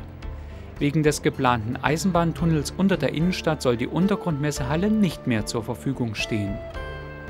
Und wer muss sich auf die Suche nach einer räumlichen Alternative machen?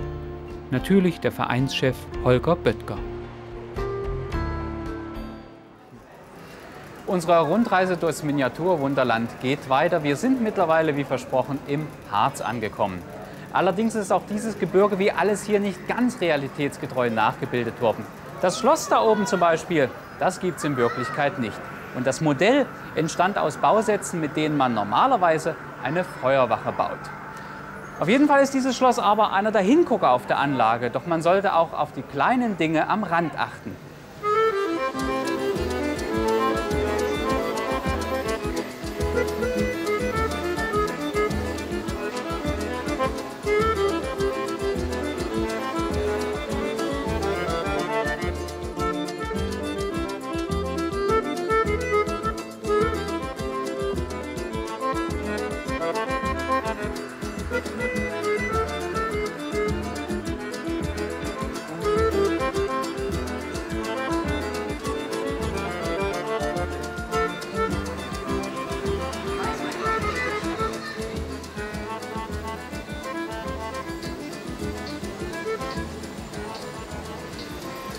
Auf dieser Kirmes zum Beispiel ist alles da, was das Herz begehrt und was zu einem echten Volksfest gehört. Da kann man mit seiner Liebsten zum Beispiel im Riesenrad fahren. Es gibt jede Menge zu essen und zu trinken. Selbst die bekannte und berühmte Thüringer Bratwurst fehlt nicht. Und diese Details sind es natürlich auch, die den Erfolg des Miniaturwunderlandes ausmachen. Denn wegen der vielen Züge, da kommen vor allem die Männer. Aber die kleinen, feinen Sachen am Rande, die locken auch die Frauen hierher.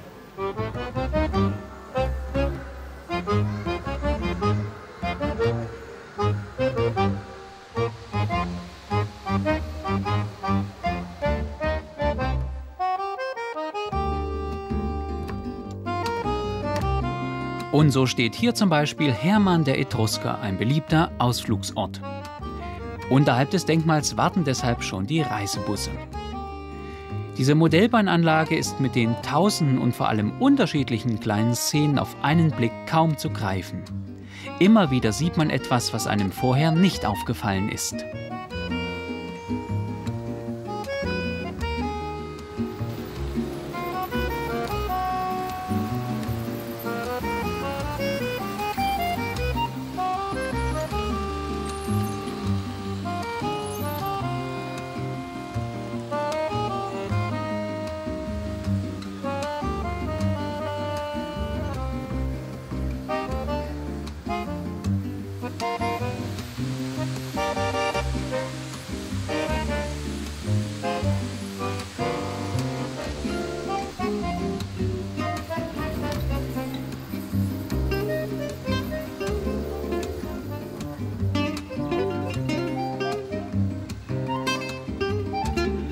Monatelange Arbeit steckt in dem Sonnenblumenfeld mit Wasserleiche.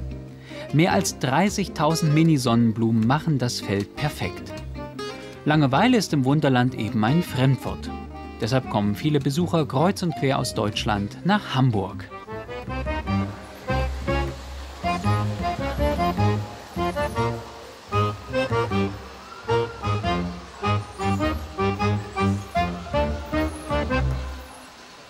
Sie bewogen, heute den Weg mal hier einzuschlagen? Mein Sohn. Warst du denn schon mal da? Nein, ich war noch nicht da. Aber es ist sehr toll hier. Nun ist es ja nicht das klassische Frauenthema Modelleisenbahn. Was hat Sie bewogen, trotzdem mitzufahren? Oh, das, das hat mit Frau gar nichts zu tun. Das ist für jeden ganz toll, interessant. Wir haben früher selbst eine Modelleisenbahn im Keller gehabt. Leider ist sie nie fertig geworden und inzwischen gibt es sie gar nicht mehr. Ich habe selber Verbindung zu einer großen Modellbahnanlage mit 900 Loks und so weiter bei uns in unserer Heimatstadt.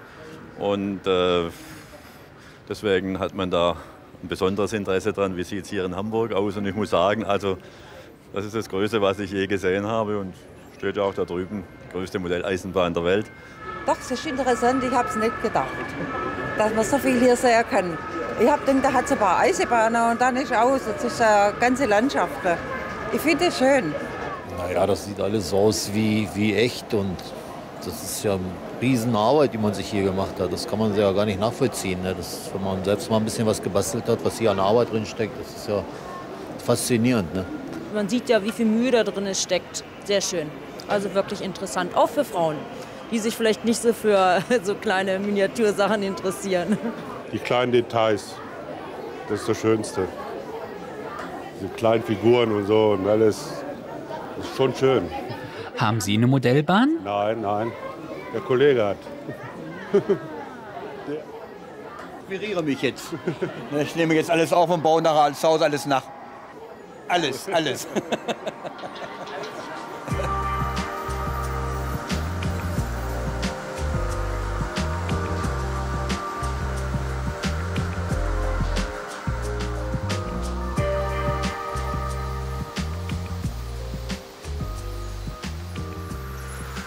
Jetzt bin ich im wahren Wortsinne mittendrin statt nur dabei, mitten im Miniaturwunderland. Und dieses Leck, das ist natürlich gewollt, denn bei den Dimensionen der Anlage ist es für die Mitarbeiter immer sehr schwer einzugreifen, wenn irgendwo eine Havarie ist. Aber diese Öffnung macht es natürlich möglich, dass man das Geschehen hier im Griff hat. Außerdem bietet dieser Standplatz einen fantastischen Ausblick auf das Geschehen im Hamburger Hauptbahnhof. Besucher dürfen natürlich nicht hierher, aber keine Sorge, auch Sie haben den richtigen Durchblick man kann das Geschehen im Hauptbahnhof hier immer verfolgen, weil auf der Bahnsteighalle noch kein Dach ist. Dieser Bahnhof ist schon gigantisch. Allein der Unterbau der Halle ist extrem aufwendig. Das Schienennetz ist noch größer als beim Vorbild. So treffen hier Züge über Züge aufeinander. E-Loks, ICEs, S-Bahnen. Ach, überzeugen Sie sich selbst.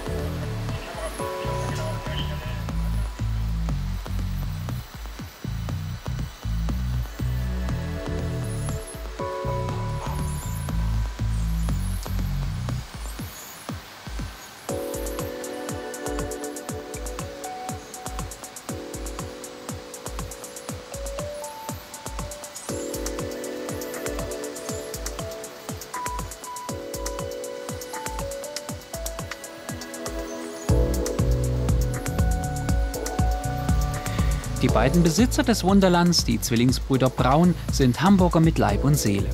Das merkt man an dem Versuch, diese Stadt in ihrer ganzen Schönheit darzustellen. Immer wieder die Verbindung von alt und neu zu zeigen.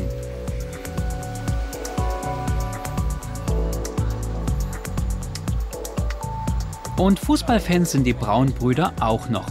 Der Fußballclub HSV und die AOL Arena haben natürlich einen besonderen Stellenwert in der Hansestadt. Die Arena wurde deutlich stärker verkleinert als der normale H0-Maßstab. Will man sowas auf der Heimanlage realisieren, wird es schwierig, denn das Objekt ist schon sehr dominant. Und, wie bereits gewohnt, hier bewegt sich der Fahnenschwenker und natürlich gibt es auch eine Laola von begeisterten Fans.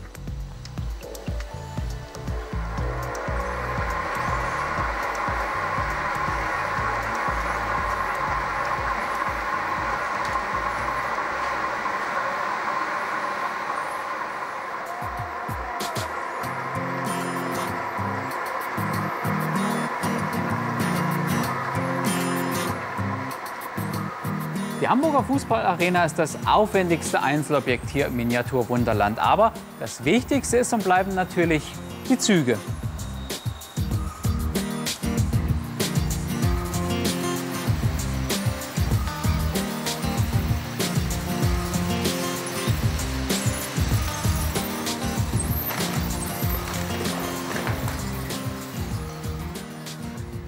Im richtigen Leben wäre das natürlich jetzt eine furchtbare Katastrophe. Im Wunderland ist es nicht ganz so schlimm. Denn das ist der Vorteil der Miniaturwelt. Hier gibt es eine Leitzentrale und in der überwacht heute der Lars die Züge.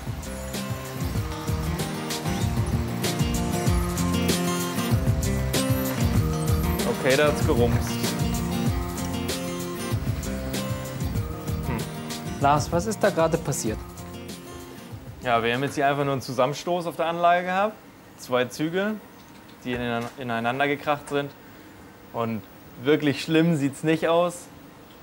Und sowas, Aber- sowas äh, übersiehst du auch nicht, weil ihr habt die ganze Anlage ist irgendwo überwacht. Wir haben die ganze Anlage überwacht. Wir haben ungefähr 180 Kameras in der Anlage verteilt. Viele unter der Anlage, um da zu sehen, was da an Zügen los ist, was da so fährt und was nicht so fährt. Und viele über der Anlage ähm, und können damit so ziemlich jeden Winkel eigentlich ausleuchten, ja. Und von hier aus wird das Ganze auch gesteuert. Äh, analog ist da nichts mehr zu machen bei solchen Dimensionen. Nein, absolut nichts mehr. Ähm, das ist absolut alles digital. Mittlerweile geht gar nicht anders, so viele Züge auf einmal zu steuern. Habt ihr da selber auch Programme geschrieben oder ist das handelsübliche Software, die ihr verwendet? Ähm, zum einen ist das eine handelsübliche Software, ähm, die wir hier verwenden für die Zugsteuerung und für das K-System, für die Autosteuerung. Die Software ist selbst geschrieben, genauso wie die Lichtsteuerung, die das ganze Anlagenlicht und jede einzelne Lampe auf der Anlage überwacht. Ja. Nun ist das ja kein klassischer Ausbildungsberuf. Wie, wie kommt man hier an den Leitstand? Wie, wie ist dein beruflicher Werdegang gewesen? ähm, ja, mein beruflicher Werdegang, ich bin Energieelektroniker gelernter und hab, bin hier irgendwann angetanzt und habe eben angefragt, ob ich mitbauen kann. Habe mich dann um die äh, Elektronik der Anlage gekümmert. Also das heißt, äh, zugesehen, dass wir diesen Fahrbetrieb hinbekommen, den wir jetzt haben. Und ähm, liege eigentlich mehr unter der Anlage. Und wenn man aber selber eine Anlage mitgebaut hat, dann ist es natürlich ein leichtes, irgendwann die Anlage auch zu fahren, weil man sie eben selber mitgebaut hat und weil man so ziemlich jeden Winkel irgendwo kennt. Und dann ist es leichter, in den Leitstand einzusteigen und in die ganzen Anlagenpläne, weil man genau weiß, wo die Strecken langlaufen. Jetzt haben wir ja hier schon Streckenpläne, aber was mich interessiert, hier drüben ist auch noch mal alles voll, oder was, was, was Ja. sind das? Ja, das sind halt die gesamten Streckenpläne der Anlage. Also hier Einfach durch die Größe ist es nicht mehr auf einen Monitor zu bringen. Richtig, genau. Also die einzelnen Anlagenabschnitte haben, sind auch wieder unterteilt in verschiedene Bahnen. Und äh, die Züge fahren, können aber übergreifend über die einzelnen Bahnen fahren. Und äh, ja, es ist einfach nicht mehr auf einem Monitor zu bannen, das Ganze, sondern mittlerweile, wie viele haben wir jetzt hier? 30 Rechnermonitore alleine. Und kann man es denn überhaupt noch alleine steuern oder müsst ihr mindestens zu zweit sein? Also wir, es reicht nicht mal mehr zu zweit zu sein. Wir sind normalerweise mindestens zu viert. Ja, zu viert oder zu fünft normalerweise. Und jetzt viel Spaß im Führerstand.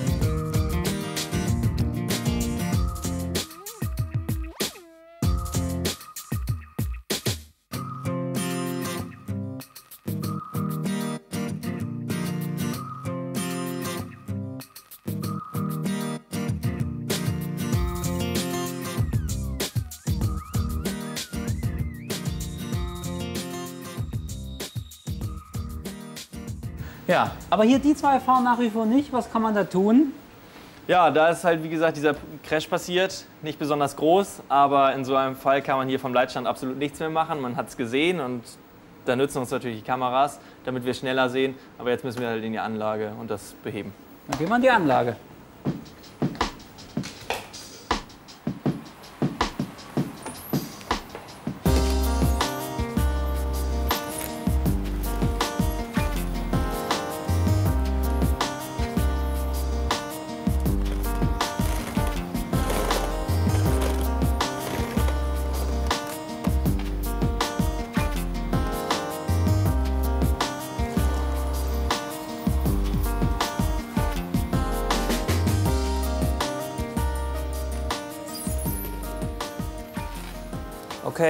Zug ist zusammengekuppelt und kann abfahren. Ähm, Nochmal oder so oder nicht? Oder wie? Oder fertig? Oder? Äh, jetzt ist erstmal alles gut, du kannst die 1227 wegfahren. Ich hätte also gemeint, ich bin jetzt mit dem Schnellzug lang gefahren, weil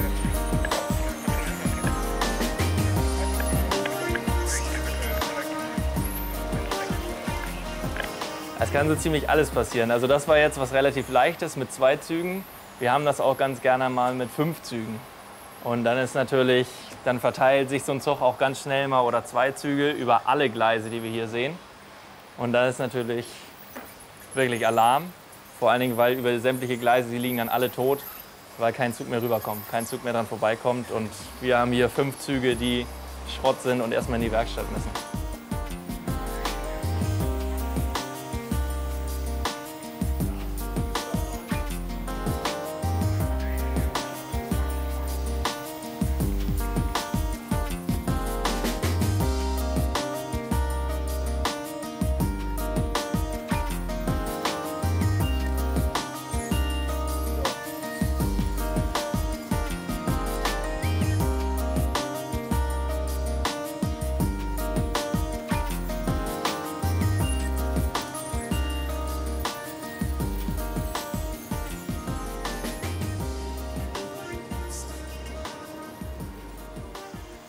Was darf beim Bauabschnitt Hamburg des Miniaturwunderlandes nicht fehlen? Richtig, das Wunderland Höchst selbst en Miniatur. Bitte schön, hier ist es. Und was darf in der langen Nacht der Modelleisenbahn nicht fehlen? Natürlich eine Ausbildung zum Diplom-Modelleisenbahner. Die kann man in Oderwitz machen. Viel Spaß dabei.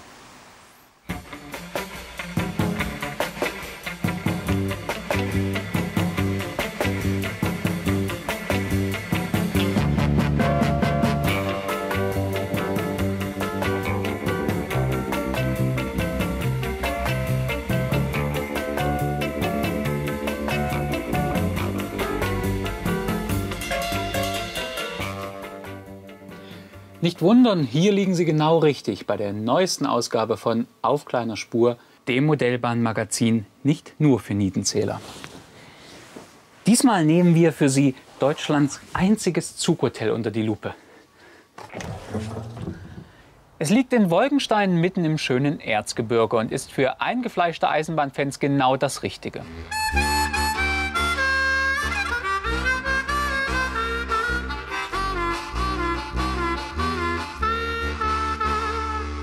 Doch bevor ich Sie durch dieses Hotel führe, bringen wir erst einmal die kleine Bahn ins Rollen. Mit Tipps, Trends und News aus der Modellbahnszene. I have news, good news. Wie in jedem Jahr füllten sich auch diesmal kurz vor Weihnachten die Händlerregale schlagartig mit den neuesten Produkten für die kleine Spur. Nicht nur mit rollendem Material. Die Firma Pico hofft im Weihnachtsgeschäft auf einen ersten Boom für ihr neues H0-Gleissortiment. Mit dem sogenannten A-Gleis gelingt ein schneller und preiswerter Start ins Modellbahn-Hobby. Hier wird es auf einem Fertiggelände der Firma noch verlegt. Der Preis der vorgefertigten Landschaft rund 135 Euro. Das Fertiggelände ist eine sehr schnelle Möglichkeit, zu einer Modelleisenbahn zu kommen. Dort ist alles vorgegeben für die Steigungen, für die Gleisführung, für die Gebäude. Man kann also eigentlich alles nur draufstellen und schon starten. Zum Beispiel mit dem neuen City Express, ebenfalls von Pico. Der einfache Fantasiezug ist für Einsteiger gedacht und kostet um die 50 Euro. Der Desiro dagegen soll gestandene Modellbahner ansprechen. Für den Triebwagen verlangt die Sonneberger Firma ca. 180 Euro. Gleich drei Neuheiten im Zubehörbereich hält Busch für alle H0-Bahner bereit. Ein Smart Autohaus, ein Polizeiauto mit vielen Funktionen und diesen romantischen Weihnachtsmarkt. Wir bleiben bei H0. Gützold aus Zwickau geht mit der 71er für ungefähr 155 Euro ins Weihnachtsgeschäft. Passend dazu bietet Pico diese alten sächsischen Personenwagen an. Sachsen-Modelle aus Zittau schickt die mittlerweile auch schon historische Ferkeltaxe für rund 170 Euro ins Rennen. Und Lilliput überrascht mit einer Gleisstopfmaschine, ihr Preis um die 64 Euro. Doch auch für die Spur der Mitte gibt es endlich wieder mal viel Neues, wie Fachhändlerin Susanne Feuereisen weiß. Also da kommt von der Firma Tillich ein neues Bettungsgleis auf den Markt in den nächsten Wochen. Ist für jedermann sehr gut geeignet. Für Spielbahner, für Profis, kann auf dem Fußboden und auf Anlagen professionell verlegt werden. Beim rollenden TT-Material gibt es ebenfalls Neuheiten. Diese 55er von Jago für ca. 270 Euro zum Beispiel. Dazu der Autotransportwagen von Tillich und der offene Güterwagen von PMT. Viel neues Zubehör im Maßstab 1 zu 120 kommt von Auhagen. Diese DDR-Einheitsbungalows, eine Waage und ein Lademaß. Die Firma Faller, für ihr Car-System schon lange bekannt, bringt nun auch Dampfwalzen ins Rollen. Mit diesem System lässt sich jedes Straßenfahrzeug jeder Nenngröße bewegen. Es muss lediglich diesen Magnet haben. Und last but not least, endlich bekommen auch TT-Bahner ihren elektrischen Bahnübergang. Und zwar von Fissmann.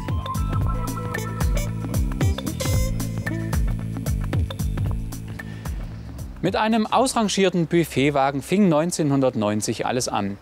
Der Wagen wurde damals von dem gelernten Metropa-Koch Ulrich Reuter gekauft, von der Deutschen Reichsbahn natürlich. Er brachte den Wagen dann hierher nach Wolkenstein, stellte ihn aufs Rangiergleis und eröffnete ein Restaurant auf Schienen darin. Warum eigentlich? Ja, um den Leuten eine andere Gastronomie zu bieten und ja, um mir selber irgendwie einen Wunsch zu erfüllen. Vom Hotel war damals aber noch nicht die Rede. Nee, 97 kam mir denn die Idee.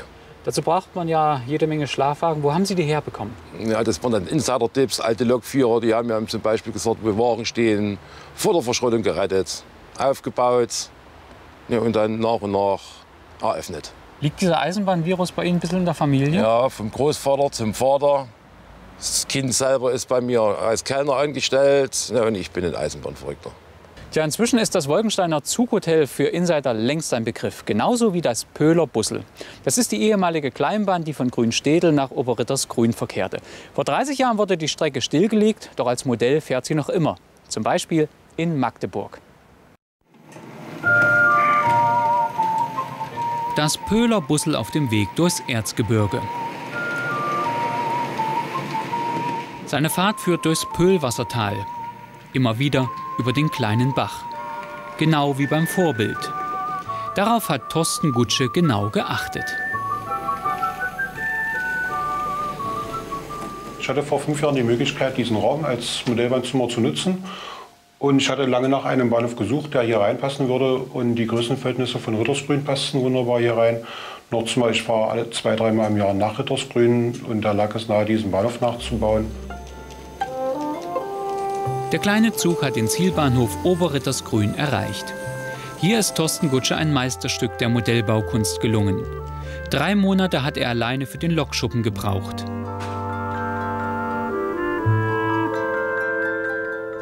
Das Gebäude besteht aus über 1900 Einzelteilen. Der Gleisplan des Bahnhofs und auch das Empfangsgebäude sehen aus wie das Original. Und das nicht nur von außen.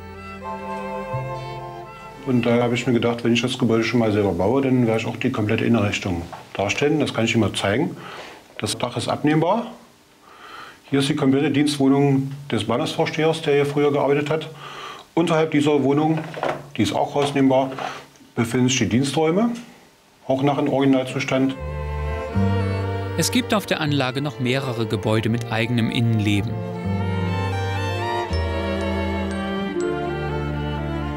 Die Männer im Sägewerk müssen hart durcharbeiten und können sich keine Pause leisten. Denn schon kommt, gezogen von einer sächsischen 1K, eine neue Holzladung an.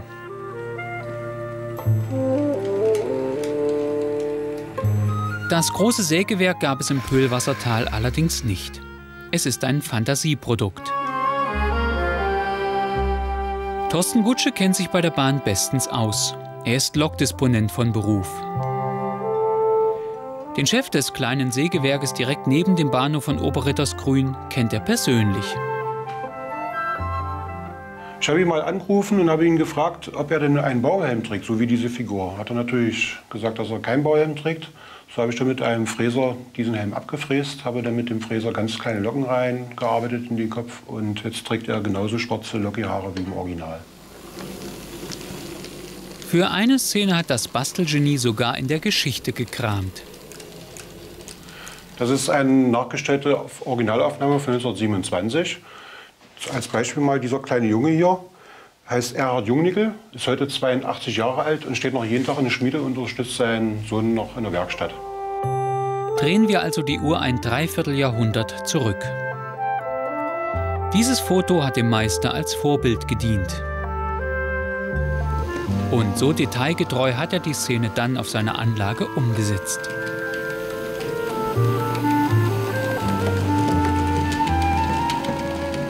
Einmal im Jahr beim Bahnhofsfest zeigt Gutsche seine Anlage vor Ort in Rittersgrün.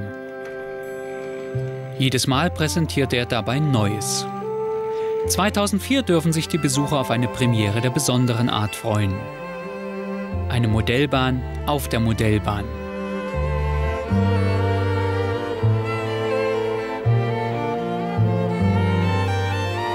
Auch ein Pärchen beim Liebesspiel wird die Anlage künftig bereichern. Und sollte daran jemand Anstoß nehmen, kein Problem. Die dazugehörende Anstandsscheune hat Thorsten Gutsche gleich mitgebaut. Der absolute Höhepunkt im Wolkensteiner Zughotel ist er hier. Ein Wagen aus dem alten Regierungszug der DDR. Und jetzt gehen wir endlich mal rein. Tja, und so sah sie aus, die Koje für die Kader. Und weil deren Tätigkeit natürlich immer äußerst anstrengend war, gab es nebenan für die rauchenden Köpfe immer gleich noch eine kalte Dusche. Schön erfrischt konnten sie sich dann im Konferenzabteil zur nächsten Beratung treffen. Die Einrichtung hier ist original erhalten. Das geht vom Tisch über die Einbauschrankwand bis hin zur Hi-Fi-Stereoanlage Made in GDR. Inzwischen freilich stehen die Signale für den alten Regierungswagen längst auf Rot. Es dreht sich kein Rad mehr. Aber da geht es zurzeit einigen Erfurter Modellbahnern auch nicht besser.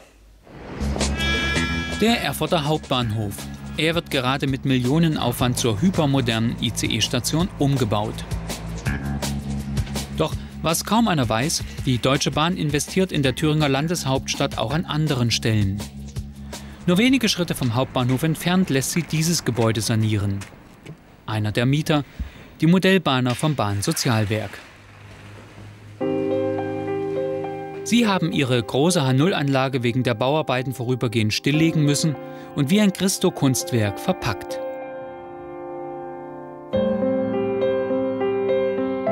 Deshalb fällt zum ersten Mal seit 50 Jahren auch die traditionelle Weihnachtsausstellung des Vereins aus. Viele Erfurter wollen das nicht glauben.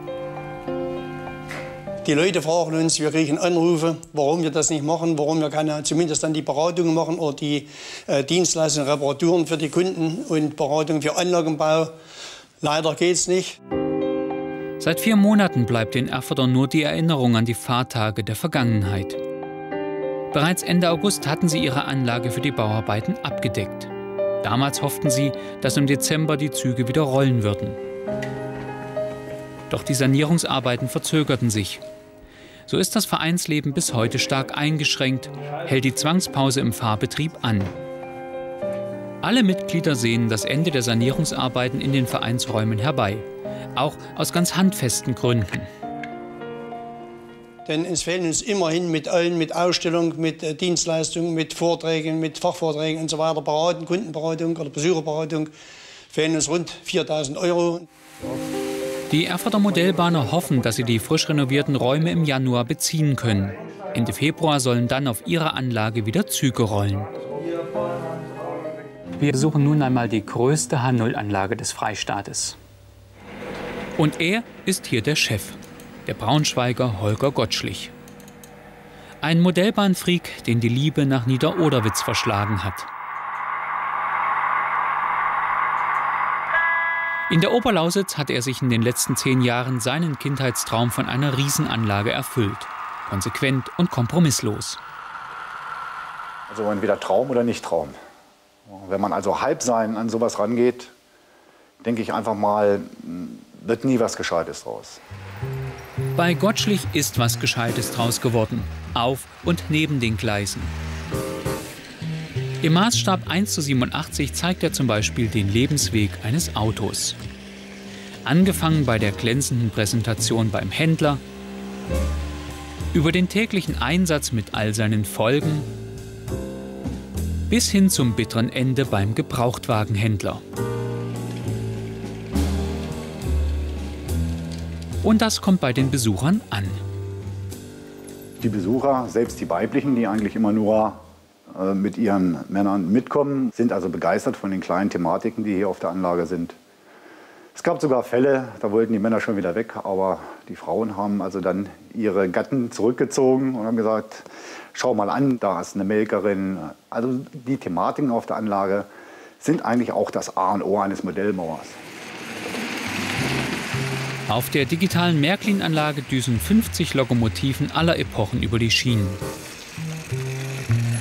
Das heißt pro Stunde rund 500 Zugbewegungen, die von mehreren Computern gesteuert werden. Selbst Kinderträume einzelner Besucher haben wir hier schon erfüllt. Zum Beispiel einem Stöpke, der kommt also alle drei, vier Wochen mit Oma, mit Opa, Mama oder Papa mal her. Der hatte sich immer beschwert, dass ein ICE zu lange in den Schattenbahnhöfen steht. Was haben wir gemacht? Einen zweiten ICE eingebaut, entgegengesetzt und er war uns sehr dankbar. Gottschlich erfüllt noch mehr Träume. Wer will, kann sich auf seiner Anlage zum Lokführer ausbilden lassen. Nach kurzer Einweisung durch den Chef beginnt der praktische Teil. Unter den strengen Augen eines Ausbilders, der am Hauptberuf Stellwerker bei der Großen Bahn ist. So, die Weiche ist rum. Dreh wieder zurück. Gut, komme ich zurück. Am Ende des mehrtägigen Lehrgangs muss der Auszubildende sogar eine Prüfung ablegen. Die Oderwitzer Modellbahner nehmen die Sache also durchaus ernst. Es ist am Vorbild orientiert, also die Lokführerausbildung weitestgehend am Vorbild, weil es ist eine Modellbahnanlage, da gibt es natürlich Kompromisse, aber die Auszubildenden, die sollen hier richtig lernen, wie es eigentlich auf der richtigen Eisenbahn zugeht. Eine Urkunde macht den Modellbahnlokführer perfekt. Ich hoffe, es waren zwei schöne Tage.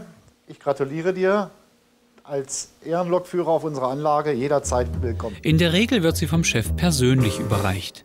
Es sei denn, der ist gerade wieder irgendwo in seinem 100 Quadratmeter großen Reich unterwegs, um für Ordnung zu sorgen. Darauf legt Holger Gottschlich größten Wert. Denn für ihn ist seine Anlage viel mehr als nur eine Modellbahn.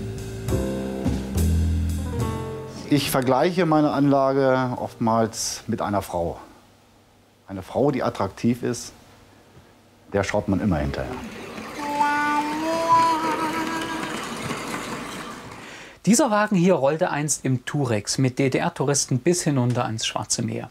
Ich selbst bin einmal mit diesem Zug mitgefahren, das war 75, ich war neun Jahre alt und ich kann mich gut erinnern, dass man die Tür hier zum Nachbarabteil ganz einfach öffnen konnte. Das wurde so rumgeklappt und dann hier in der Wand versenkt und schon konnte man mit den Urlaubern nebenan plaudern. Und dann habe ich zu Hause noch was ganz Besonderes gefunden. Die Originalspeisekarte aus dem Turex. Das war schon vom Feinsten. Selbst Radeberger Exportbier gab es damals. Für 7,90 Mark sogar mit einer Flasche Rotkäppchen Piccolo als legendäres Herrengedeck. Bei uns dreht sich jetzt alles um eine Lok. Nicht um diese sächsische 4K da oben, sondern um die hier. Um das H0-Modell einer 015 der legendären Reco-Schnellzugdampflok der Deutschen Reichsbahn. Gebaut wird das Modell von der Firma Roco und wir haben es gemeinsam mit den Kollegen der Fachzeitschrift MIBA einmal auf Herz und Nieren geprüft. Die 015 mit der markanten Kesselverkleidung, für viele die schönste Dampflok, die es jemals bei der Deutschen Reichsbahn gab. Früher tauchte der ostdeutsche Schienenstar regelmäßig auch im Westen auf, so 1972 in Hamburg-Altona. Die hier abgebildete Maschine diente Rocco als Vorbild für sein H0-Modell, das in den Nürnberger Redaktionsräumen der Fachzeitschrift MIBA zunächst einmal auf seine Abmessungen hin überprüft wird. In diesem Punkt bescheinigen die Tester dem Modell absolute Vorbildtreue. Das bezieht sich nicht nur auf die Hauptmaße der Lokomotive, sondern auch auf die Details, die ja mitunter sehr, sehr fein, sehr, sehr klein gestaltet sind. Auch die Windleitbleche sowie die vielen Leitungen, Räder und Klappen am Kessel entsprechen dem Vorbild. Wie aber sieht es mit den Fahrleistungen aus? Für diese Untersuchung gibt es in der MIBA-Redaktion eine eigene Anlage. Hier dreht die 015 Runde um Runde. Bei einer Testfahrt wird die Höchstgeschwindigkeit ermittelt. Liegen am Travo 12 Volt Spannung an, erreicht das Modell umgerechnet 130 Stundenkilometer. Dies entspricht genau dem Vorbild. Nächster Test, die Zugkraft. Lasten bis 240 Gramm hebt die Lok über die Schnurlaufrolle völlig problemlos.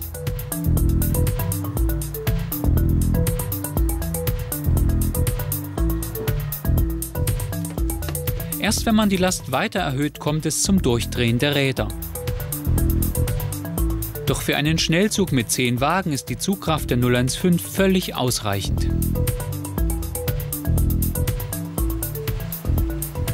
Trotzdem, ganz fehlerfrei ist das Modell nicht. Es sind im Wesentlichen aber nur zwei Mängel, die uns aufgefallen sind. Das ist zum einen der etwas große Abstand zwischen Führerstand und Schlepptender, also der Loktenderabstand. Und zweitens hat die Lok auf der Heizerseite eine Kreuzschlitzschraube. Wirkt hier sehr groß und Rocco hätte vielleicht gut daran getan, diese Kreuzschlitzschraube wegzutarnen. Den hervorragenden Gesamteindruck des Modells schmälert das nicht. Selbst Lokführer, die jahrelang auf diesen Maschinen gefahren sind, haben nach einem ersten Sichteindruck des Modells gesagt, ja, das ist meine Maschine. Bleibt der Preis. Rocco lässt sich sein Qualitätsmodell mit 260 Euro bezahlen. Wem das zu viel ist, der kann auf das schon etwas in die Jahre gekommene Pico-Modell der Lok zurückgreifen und spart dabei rund 100 Euro. Das Wolkensteiner Zughotel gibt es nunmehr seit sechs Jahren und es wächst und wächst. In diesem alten sächsischen Salonwagen zum Beispiel wird demnächst eine Ferienwohnung eingerichtet. Diese Wagen gehörten mal zu einem sogenannten K-Zug. Das waren Züge mit OP-Saal, Krankenbetten, Krankenschwestern, allem drum und dran. Sie sollten in der DDR bei großen Katastrophen zum Einsatz kommen. Demnächst gibt es hier drin eine Jugendherberge und dafür wird der alte K-Zug von Ulrich Reuter komplett umgebaut. Doch nebenbei findet der Meister immer noch genügend Zeit, um alle möglichen und unmöglichen Utensilien seiner geliebten Bahn zu sammeln, wie hier zum Beispiel diese Uniform. Doch mit diesem Hobby ist er nicht allein. Matthias Lehmann aus Lunzenau ist mindestens genauso verrückt. Matthias Lehmann ist so in die Eisenbahn vernarrt, dass er sich ein eigenes Museum leistet, in dem die Geschichte der Bahn lebendig wird.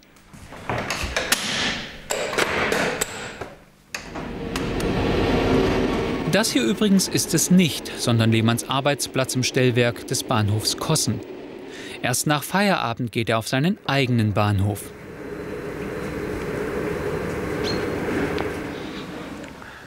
Der Haltepunkt Obergräfenhain bis 1997 dort als Haltepunkt gedient. Haben wir den dann hergeholt mit dem Tieflader und original restauriert. Und heute bildet er der Heimstatt für mein kleines Museum. Der Haltepunkt lag einst an der Strecke Altenburg-Narsdorf. Die ist inzwischen aus den Kursbüchern verschwunden. Und seit der Umsetzung des Gebäudes gehen in dem kleinen Dienstraum auch keine Reichsbahner aus Fleisch und Blut mehr ihrer Arbeit nach. Lehmann hat dafür zwei stumme Mitarbeiter angestellt.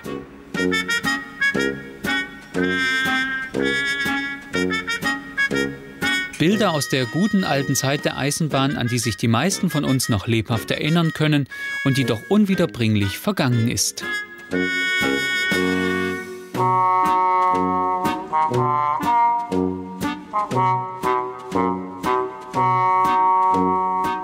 Neben dem Museum gibt es eine kleine Kneipe. Und da hängt er, der ganze Stolz des Eisenbahners, rund 150 Mützen. Meine erste Mütze war die aus Österreich von der ÖBB, aus Wien-Strebersdorf, mit dem Trabi dort gewesen. Das ist schon ganz was Neueres. Das ist äh, Jugoslawien, Slowenien. Slowenien, die Slowenen haben die Jugoslawen rausgejagt in den Drei-Tage-Krieg oder Zwei-Tage-Krieg, hatten sich dann von dem Logo getrennt und hatten ein neues Kordel ran gemacht. Und ist die Übergangsmütze. Sehr schönes Logo hat auch die Californian Western. Eine Mütze, die ich von einem Gast geschickt gekriegt hatte, von, aus Kalifornien. Das ist eine Museumseisenbahn. Und so wächst eigentlich die Sammlung städtisch. Nicht mehr so schnell, wie es am Anfang wuchs, aber doch beständig. Die Kneipe zum Prellbock ist wohl die einzige weltweit, in der das Pilz direkt aus einem Puffer gezapft wird. Dafür ist übrigens Lehmanns Frau zuständig, denn der Museumsdirektor arbeitet längst an der Zukunft. Hier sind wir nur dabei, noch ein bisschen zu erweitern, die Ausstellungsfläche zu vergrößern und den kleinen Museumsladen zu ein, einzurichten, wo wir dann für Sammler und für Hobby-Eisenbahner ein bisschen was anbieten. Habe schon mal angefangen, ein bisschen einzuräumen. Das Gepäcknetz von den alten Reisezugwagen wird dann als Ablagemöglichkeit genutzt. Oder halt hier dieser Kleiderständer von dem Leipziger Hauptbahnhof von 1913, wo er eingerichtet worden ist. Das ist schon, glaube ich, eine richtige Rarität. Momentan geht es in den neuen Räumen zwar noch ein wenig drunter und drüber, doch schon Anfang des nächsten Jahres sollen sie eröffnet werden und einen Museumsbesuch in Lunzenau noch attraktiver machen.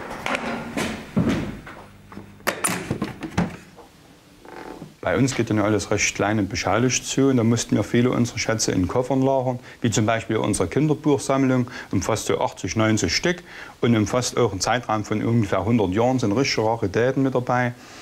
Und die bekommen ja nun bald einen ordentlichen, schönen Rahmen in den neuen stehenden Ausstellungsräumen. Schön, dass Sie bei unserem heutigen Modellbahnmarathon mit von der Partie sind. Wir sind jetzt im Westen von Amerika in Las Vegas. Und hier haben Gerrit und Freddy Braun ganz besonders tief in die Trickkiste gegriffen. Leitstand mal für den MDR. Hört. Könnten wir denn mal das Lichtspektakel Las Vegas haben? Komm. Danke. Viva Las Vegas! Viva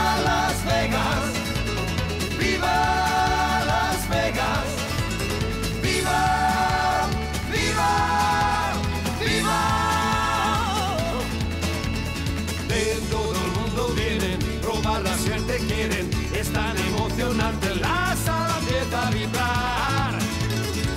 No existe noche o día, mi vida es mi partida, Resulta fascinante empezar y verme los bolsillos llenos.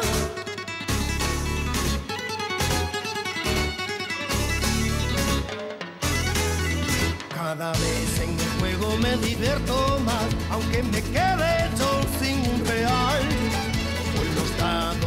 gusta mi experimenta y a una bolita verlas y rodar. Voy a entregarlo todo, todo, nada sin temor. Loco a madera, entra el calor. Me trago yo a la banca con el número dos. ¡Viva Las Vegas!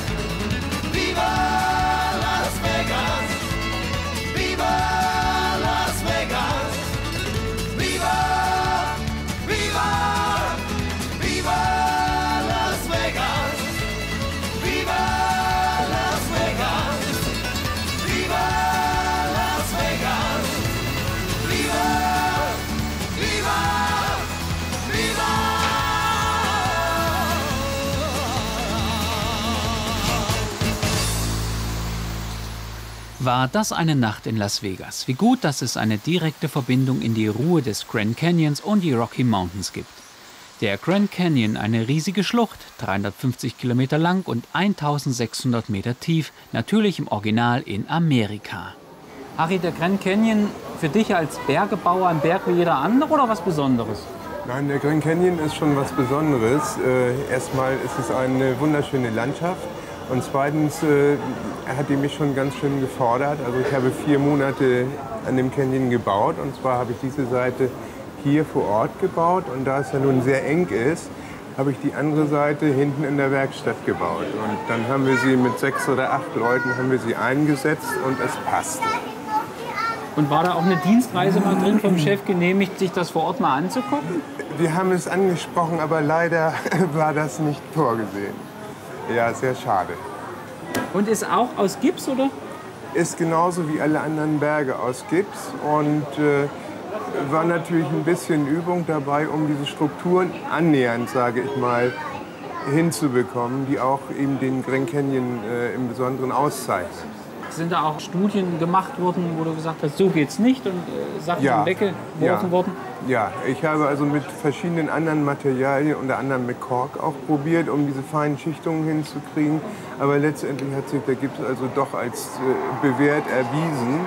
Und ich habe also für den Canyon habe ich schon etliche Bücher studiert.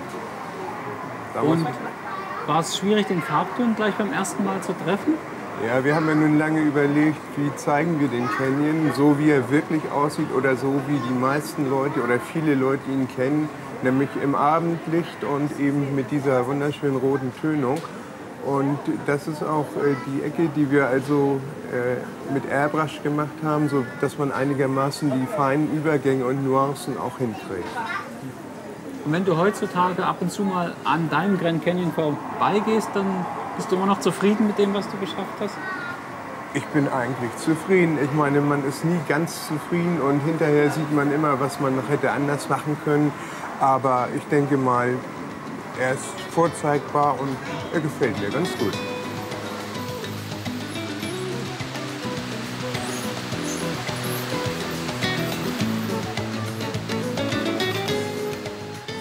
Wenn man vom Colorado-Plateau runterfährt, kommt man durch das Reservat der Pueblo-Indianer. Die Dörfer sind terrassenartig angelegt. Die Indianer bauen ihre Häuser aus Lehm und luftgetrockneten Ziegeln. Und die stehen dann angelehnt am Felsen.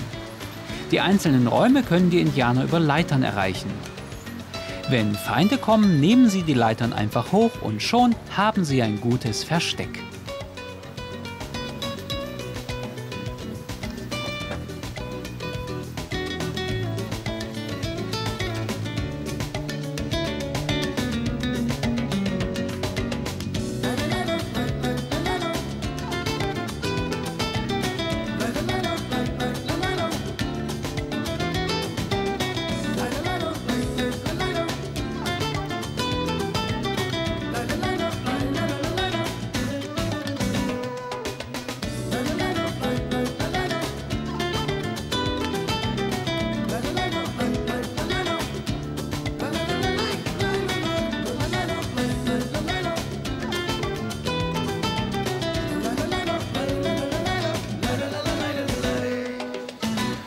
Der Dauerbelastung, unter der Züge, aber auch Schiffe oder Fahrzeuge im Miniaturwunderland stehen, da geht natürlich das eine oder andere auch schon mal kaputt. Aber das ist kein ganz großes Problem, denn alle Handwerker, die man braucht, um es wieder ganz zu machen, die gibt es hier auch gleich im Haus. Äh, was machst du denn gerade zurzeit? Ich baue gerade neue Elektronikelemente für die neuen Bauabschnitt zusammen. Okay, dann wollen wir mal den Kollegen hier hinten fragen. Was tust du gerade im Moment? Ich rüste gerade ähm, unsere Straßenbeleuchtung von Glühlampen auf LEDs um und löte dafür jetzt gerade mal ein paar LEDs halt um, dass wir die da dann anschließend einbauen kann. Okay, vielen Dank. Und das ist noch nicht alles. Hier sitzen noch mehr Leute, die sich mit kaputten Dingen beschäftigen. Das sieht sehr faszinierend aus. Hat das überhaupt mit Modellbahn zu tun? Ja, nicht direkt. Das ist ein Teil, das an der Anlagenkante zu sehen ist. Das wird die Area 51. Was ist das? Ja, das ist dieses amerikanische geheimnisvolle Teil, wo irgendwelche UFOs drin sein sollen und wo man halt nicht genau weiß, was es ist. Und bei uns kann man sich das dann halt angucken. Woher wisst ihr, wie es drinnen aussieht in so einem geheimen Teil? Oh, das haben wir uns ausgedacht. Bisschen Fantasie und dann geht das schon. Und wozu braucht man so viele Drähte? Für die UFOs? Ja, das sind zum Beispiel jetzt hier diese ganzen einzelnen Lampen, die müssen einzeln angesteuert werden. Dann habe ich zum Beispiel hier ein Pult drin. Das kann ich auch nochmal zusätzlich schalten. Das soll dann später halt die ganzen Schalten darstellen und ja, dafür braucht man halt viele Drähte, um das alles einzeln anzusteuern später.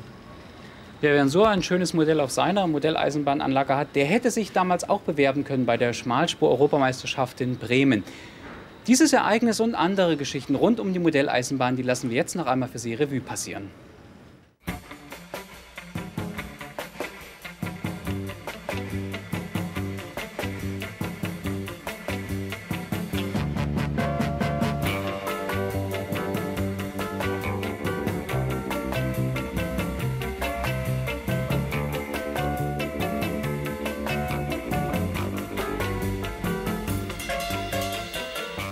Heute bei uns in der Sendung die ersten Schmalspur-Europameister.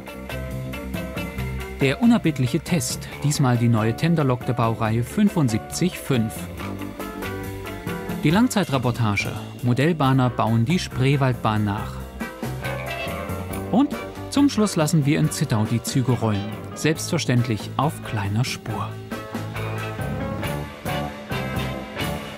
Dampfloks und Meiningen, das gehört zusammen wie der Schuster und sein berühmter Leisten. Denn hier in Südthüringen werden die stählernen Rösser seit 90 Jahren wieder auf Trab gebracht. Und mittlerweile befindet sich hier Europas größtes Werk dieser Art. Und damit sozusagen mit Volldampf hinein in eine neue Ausgabe von Auf kleiner Spur, dem Modellbahnmagazin, nicht nur für Niedenzähler. Wir zeigen Ihnen heute aber nicht nur, wie Dampfrösser wieder flott gemacht werden, sondern Trends, Tests und total Verrücktes rund um die Modelleisenbahn. Weil traditionell zur Vorweihnachtszeit auch die Geschäfte der Fachhändler wieder gut gefüllt sind, haben wir uns auch dort für Sie umgesehen. Und hier kommen Sie schon mal die ersten schönen Neuheiten. Die Sachsen sind diesmal ganz groß im Geschäft, weiß Fachhändler Günter Feuereisen. Egal ob eine Lok der Müglitztalbahn oder das sächsische Kraftpaket, alles neu. Auch dieser schicke Zug war einst auf Sachsens Gleisen unterwegs. Es freut die Modellbahner aus Mitteldeutschland natürlich, wenn ihre alten Schienenstars wieder rollen, wie diese Lok. Die Einheitslokomotive der Baureihe 84 wurde ausschließlich für die Miglitztalbahn gebaut. Und Lilliput hat sich dieses Vorbilds angenommen. Nun sind wir aber von Lilliput Lieferzeiten von vielen Jahren gewöhnt. Und dann ist es natürlich überraschend, dass sie so schnell doch am Markt erscheint. Diese Dampflok der Baureihe 75.5 von Gützold ist für Freunde sächsischer Bahnen ebenso interessant wie die Sachsenwagen von Pico. Ihr Preis pro Stück rund 32 Euro. Ganz frisch in den Läden eingetroffen ist diese Reco Güterzuglok, die 52.8 von Gützold für knapp über 200 Euro. Die dazu passenden Wagen, Halberstädter genannt, stammen von Roco. Stückpreis um die 30 Euro. Auch die Fans der modernen Eisenbahn gehen nicht leer aus. Pico hat die Vogtlandbahn neu herausgebracht und das für knapp 200 Euro. Viele Eisenbahnfreunde erleben ja jetzt die Epoche 5 draußen, sind auch von Alters her äh, an Epoche 3 oder Epoche 2 keine Erinnerungen mehr vorhanden. Und folglich bauen und kaufen sie dann auch Fahrzeuge für die Epoche 5. Vor allem an Fans der 30er Jahre richtet sich diese E19. Ihr Hersteller Fleischmann, ihr Preis rund 220 Euro. Zum Schluss unseres ersten Neuheitenblocks noch ein Exot, die Challenger, der Hit für USA-Fans. Ein Hit auch für den Geldbeutel. Mit rund 360 Euro ist die zweitgrößte Dampflok der Welt nicht gerade ein Schnäppchen. Auch diese Lok erhielt in Meiningen einen neuen Rahmen und einen nagelneuen Kessel. Es ist eine Schmalspurlok.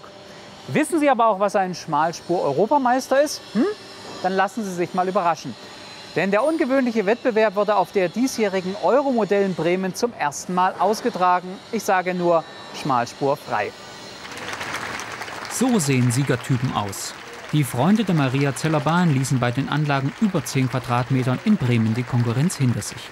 Die Modellbahner waren aus Österreich mit viel Selbstvertrauen in die Hansestadt gereist. Gerechnet haben wir eigentlich schon damit. Wir haben uns recht viel Mühe gegeben. Und ich muss sagen, wir sind, äh, glaube ich, so ziemlich die Einzigen, die fast alles in Eigenbau haben hier. Wenn wir äh, sehen, unsere Oberleitung auf der Anlage ist alles selbst gebaut. Insgesamt 30 Schmalspuranlagen stellten sich drei Tage lang den kritischen Blicken einer Fachjury. Bewertet wurden vor allem Detailtreue, Maßstäblichkeit und der Landschaftsbau. Für die Teilnehmer aus Mitteldeutschland reicht es am Ende nicht zu einem Platz auf dem Treppchen. Trotzdem bereute keiner von ihnen das Abenteuer Europameisterschaft. Dadurch, dass wir immer so viel Personal mit haben, haben wir auch mal eine Zeit für eine halbe Stunde die Anlagen uns anzuschauen, um auch mal wieder Tricks und Kniffs wieder von anderen wieder zu mausen, so muss man sagen. Und es gab recht viel abzukupfern bei Teilnehmern aus sechs verschiedenen Ländern. Ob es am Ende nun für den Sieg oder nur für einen Platz unter ferner Liefen langte, die Idee einer Europameisterschaft kam gut an. Ich finde die Anlagen ganz hervorragend, haben sehr viel Atmosphäre. Ich muss sagen, also in Bremen hat sich das wesentlich verbessert wie gegenüber zwei Jahren. Da war es also erheblich weniger an Modellbahnen. Also es gibt schon sehr schön gestaltete Anlagen die auch äh, landschaftlich sehr gut gemacht sind, technische Raffinessen dazu haben. Wir bauen ja auch an einer großen H0-Anlage in unserem Verein und man hat so allerhand Anregungen hier. Ne? Besonders tolle Anregungen konnte man sich an dieser Anlage holen. Der Wittenberger Volkmar Schumann beeindruckte die Bremer und ihre Gäste mit vielen pfiffigen Funktionsmodellen auf seiner Spreewaldbahn in der Größe 1M. Die Gäste kamen aus dem Staunen gar nicht heraus, so viel Bewegliches gab es hier zu entdecken. Übrigens alle beweglichen Teile auf der Anlage sind Marke Eigenbau. Selbstverständlich auch die alte Dreschmaschine. Die aus Sömmerda stammende Familie Wieland war mit ihrer liebevoll gestalteten Anlage Timmelstein angereist. Eine Hommage an die gute alte Zeit der sächsischen Schmalspurbahnen. Auch sie blieben an der Weser zwar ohne Preis, trotzdem war es Peter Wieland zufrieden. Schmalspurbahner wurden in der Anfangszeit der Modellbahnerei eigentlich immer ein bisschen belächelt. Inzwischen hat sich das stark gewandelt. Das sieht man hier auch auf der Euromodell.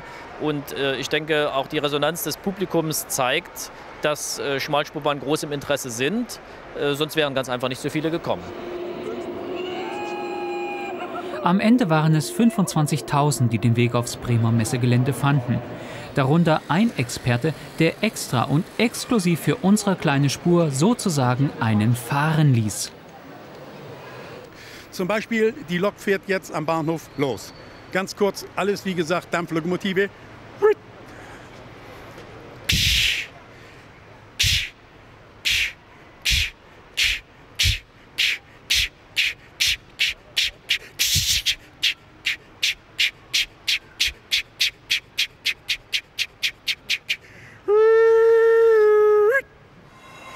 Diesen großen und mächtigen Rädern können Sie bald schon wieder kreuz und quer durch den Harz fahren. Denn diese Räder sind für eine Lok der Harzer Schmalspurbahn bestimmt. Und wir schauen uns mal an, wie die jetzt wieder unter die Lok kommen. Wir erleben einen Radwechsel hautnah. Ganz so schnell wie beim Pkw zu Hause geht das natürlich nicht. Dafür müssen hier auch ein paar Tonnen mehr bewegt werden. Und zwar ganz vorsichtig. Denn am Ende ist alles absolute Millimeterarbeit.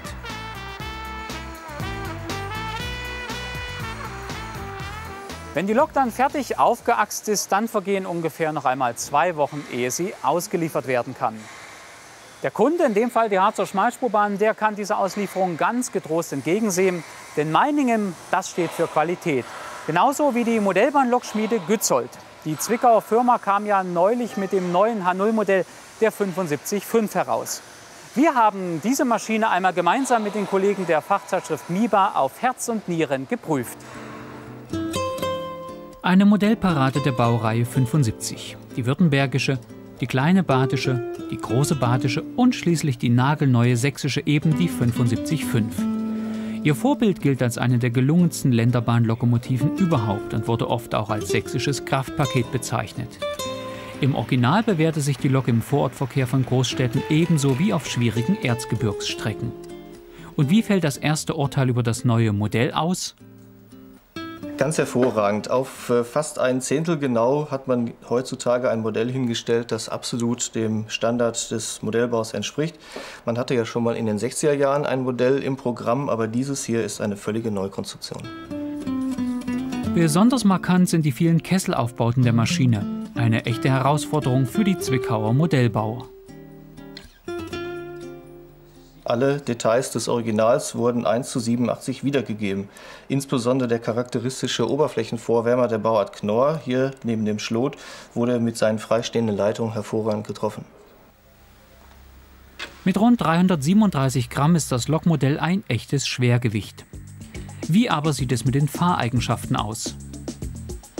Wir schicken die 75.5 auf die Teststrecke und lassen sie ihre Runden drehen. Unsere Ergebnisse? Für eine ruckfreie Langsamfahrt müssen am Travo mindestens 2 Volt Spannung anliegen. Damit erreicht die Lok umgerechnet eine Geschwindigkeit von ca. 8 km/h. Erhöht man die anliegende Spannung auf etwa 10,5 Volt, fährt die Lok rund 75 km/h schnell. Und das entspricht bereits der vorbildgerechten Höchstgeschwindigkeit. Sie ist äh, ein wenig zu schnell, liegt aber noch innerhalb der Norm und äh, läuft leise und ist auch zumindest bei Vorwärtsfahrt sehr zugkräftig. Hier der Beweis. Lasten bis 224 Gramm hebt die Lok ohne Probleme über die Schnurlaufrolle. Erst wenn man das Gewicht weiter erhöht, stößt die Maschine an die Grenzen ihrer Zugkraft. Fazit? Das neue H0-Modell überzeugt auf der ganzen Linie, beim Aussehen ebenso wie bei der Leistung. Bleibt die Frage nach dem Preis. Gützold legt die Preisempfehlung bei 232 Euro. Das ist gemessen an dem, was man hier geboten bekommt, ein sehr gutes Preis-Leistungs-Verhältnis. Teuer ist auch das Modellbahn-Hobby. Wer kennt ihn nicht, den prüfenden, leicht nervösen, fragenden Blick der Ehefrau, wenn man zu Hause schon wieder mit einer Kleinigkeit für die Anlage aufkreuzt. Aber dabei gibt es doch so viel schönes Neues. Das zum Beispiel. Neu für die Spur N ist das deutsche Krokodil, die E194 von Fleischmann zum Preis von rund 165 Euro. Der japanische Hersteller Kato hat sich, ebenfalls in N, an den Kalex herangewagt. Den gibt's für knapp 200 Euro und er geht vor allem in den neuen Ländern weg wie warme Semmeln. Kalex, Winterbohner, Corolla, die sind nun mal hier gefahren und äh, deswegen auch das Interesse hier sehr groß. Auch TT-Bahner können ihre Anlagen mit schönen Modellen schmücken. Zum Beispiel der 18201 von Jago. Ziemlich schnell, aber mit über 400 Euro auch ziemlich teuer. Roco hat in der Spur der Mitte die Rangierlok der Baureihe 80 neu aufgelegt. Für rund 100 Euro ist man dabei. Ebenfalls eine Wiederauflage von Roco ist die russische Ludmilla. Ihr Kostenpunkt ca. 125 Euro. Der Panzerzug dahinter entstand beim TT-Club Schauer. Für ihn wird man rund 100 Euro los. Mit Rote schickt ein anderer ostdeutscher Kleinserienhersteller diesen Elektrotriebwagen ins Rennen und das für ca. 250 Euro. Beim Zubehör, ebenfalls für TT, bietet Auhagen nun ein Förderband für seine Ladestraße an. Von SES stammt der Trabi mit dem Dübener Ei am Haken. Und von Busch kommt der Multicar, Allerdings ist er für H0-Anlagen bestimmt. Auf denen soll es künftig auch neben den Gleisen schön bewegt zugehen. Faller haucht nämlich mit diesem fünfteiligen Set für knapp 200 Euro einer Baustelle Leben ein. Das ist ein Trend. Das muss auf der Modelleisenbahn, bedingt durch die äh, Präsenz der Medien, dass sich alles bewegen muss, nun auch auf der Modellbahn die gleiche Bewegung nachahmen. Und wie zum Beweis geht es auch bei dieser Neuheit, ebenfalls von Faller, nicht mehr ohne Bewegung.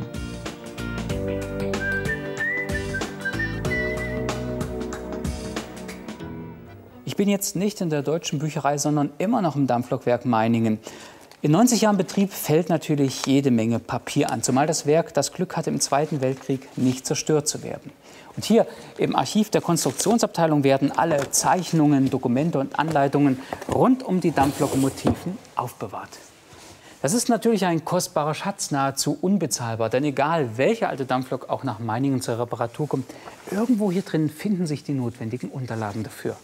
Wenn also jemand nach Meiningen kommt und braucht zum Beispiel den Querschnitt der Güterzug-Dampflok der Baureihe 5040, findet sich das hier sofort.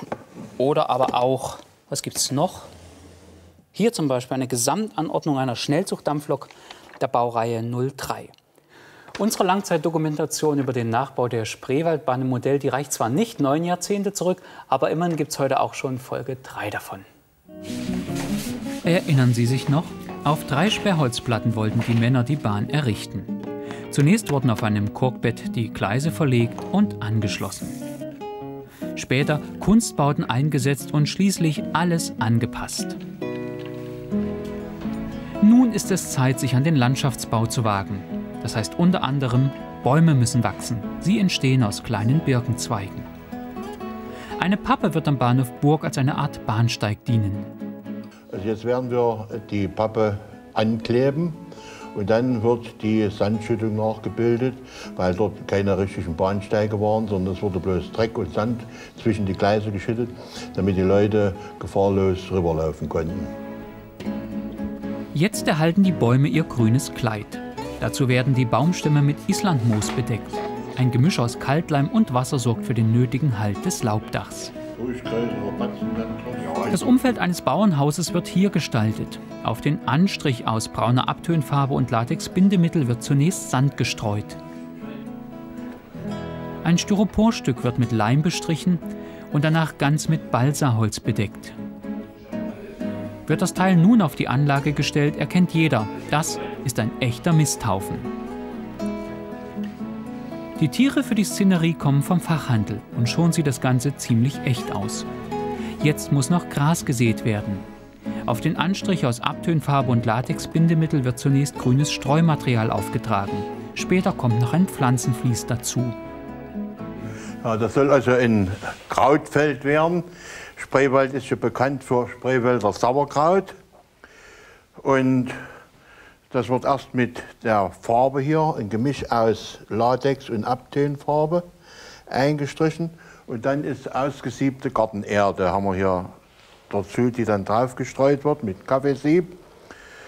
Und dann werden die Kohlköpfe, die werden aus grünen Pfefferkörnern nachgebildet. Wobei das Ganze eine unglaubliche Sisyphusarbeit ist. Eine Holzleiste wird zur Kante der Ladestraße am Bahnhof. Die Lücke zwischen ihr und dem Gleisbett wird mit Korkschrot gefüllt. Das Ganze wird in bekannter Manier gestrichen. Ausgeschnittene Pappecken mit einem am Computer gestalteten Muster stellen altes Straßenpflaster dar. Auch das Ladegut ist selbst gebaut. Die Ziegelstapel bestehen aus bunt bedrucktem Papier. Der Rübenhaufen entstand aus Kiefernsamen und der Kohlehaufen ist sogar aus echter Kohle.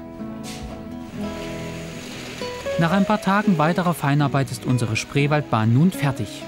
Wer vermag jetzt noch die grünen Pfefferkörner zu zählen, die hier zu einem Kohlfeld wurden? Gleich nebenan wurde ebenfalls geklotzt und nicht gekleckert. Hier stehen wir an einem Hopfenfeld.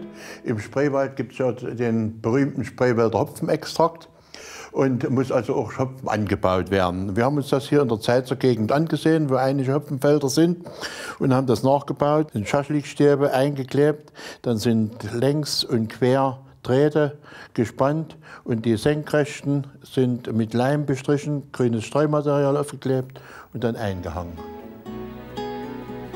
Die Ladestraße mit ihren Gütern erhielt gleichfalls einen letzten Schliff.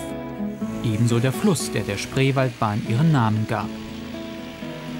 Und natürlich auch der Bahnhof von Burg, an dem unsere dreiteilige Reise nun zu Ende geht. Der Zittauer Verein Ziemek hat sich für seine jüngste Anlage Inspiration bei der großen Bahn gesucht und ist quasi vor der eigenen Haustür fündig geworden. Nein, er gehört nicht zum Club. Aber er. Und er. Er auch. Und er hier sowieso. Mit Argusaugen und hochkonzentriert sind die Mitglieder des Zittauer Clubs bei der Sache. Ihr jüngstes Kind? Eine Schmalspuranlage nach dem Vorbild der Kleinbahn von Zittau nach Eubin. Mit allem Drum und Dran. Wir als Zittauer sind ja alle mit der Bahn groß geworden. Wir sind ja zu einer Zeit groß geworden, wo nicht jeder einen Pkw hatte und wo das dazugehörte. Der Familienausflug nach Eubin, selbstverständlich mit der Bahn. Über 40 Jahre gibt es den Zittauer Verein schon. Doch an eine Schmalspurbahn haben sich die Männer hier zum ersten Mal gewagt. Wir haben schon lange, auch vor der Wende, daran gedacht, man müsste ja, aber das scheiterte einfach an dem äh, rollenden Material, was nicht vorhanden war. Und der Eigenbau, der, solche Spezialisten haben wir nicht dabei. Und die Modelle, die Bausätze aus dem Westen, die, an die kamen wir nicht ran. Nun, da der Westen auch im äußersten Osten angekommen ist, ist dieses Problem längst gelöst. Ob auf oder neben den Gleisen, vieles ist möglich. Selbst die Autos fahren heutzutage auf der Anlage der Zittauer. Doch noch mehr als über den flotten Jeep wundern sich Besucher über ein Detail, das direkt mit der Eisenbahntrasse zu tun hat, die sich an den typischen Umgebindehäusern vorbei weiter Richtung Gebirge windet. Was hier immer wieder nachgefragt wird, ist ja, war denn die Bahn wirklich mal zweigleisig? Das können sich viele nicht vorstellen. Es gab hier in Deutschland noch eine zweite Schmalspurbahn auf der Insel Wangerooge, die zweigleisig war und noch ist. Aber bei uns ist das alles lange Geschichte und da fragen sehr viele danach. Aber wir können bestätigen, es war so. Und zwar von 1913 an für drei Jahrzehnte. Damals herrschte immer so starker Ausflugsverkehr, dass es ohne zweites Gleis gar nicht ging. Am Endbahnhof von Eubin haben die Modellbahner auf eine bequeme Kehrschleife verzichtet. Also lassen sie ihre Züge immer Kopf machen, was vor allem viel Rangierarbeit bedeutet. Aber es hat sich nun herausgestellt, dass es doch von vielen so lieber gesehen wird, als wenn die Züge verkehrt herum über eine Kehrschleife fahren würden und verkehrt rum nach Zittau zurückkehren. Das sieht nicht original aus und deswegen ist so schon richtiger. Nicht ganz so streng sind die Zittauer, wenn es um das rollende Material geht. So sieht man auf ihrer Anlage zum Beispiel Züge aus der uralten Privatbahnzeit, als die Wagen noch Heberleinbremsen mit dem dicken Seil hatten. Während dieser Güterzug aus jenen Tagen stammt, als die Bahn Teil der königlich-sächsischen Staatseisenbahn war, fuhr der Personenzug der Deutschen Reichsbahngesellschaft erst in den späten 20er Jahren. Alle ihre Züge haben die Männer des Vereins fest im Visier. Nur für die Gefahr am Bahndamm hat keiner von ihnen einen Blick. Wenn das mal gut geht.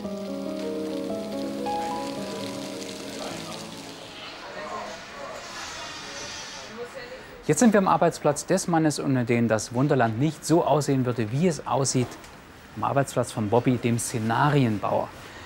Bobby, weißt du denn noch ungefähr, wie viele Figuren in den letzten Jahren hier durch deine Hände gegangen sind? Das kann ich nur noch schätzen. Also, ich schätze 20 bis 25, vielleicht sogar 28.000 ungefähr. Also ich habe aufgehört zu zählen. Und die stehen alle nicht nur so belanglos auf der Platte, sondern da ist immer auch eine Idee dahinter. Ja. Wie, wie kommt man zu solchen Ideen? Ja. Wie kommt man? So ist das Leben. Ich habe jetzt gerade hier vorne eine Zahnarztklinik gemacht, weil wir die A noch nicht auf der Anlage haben.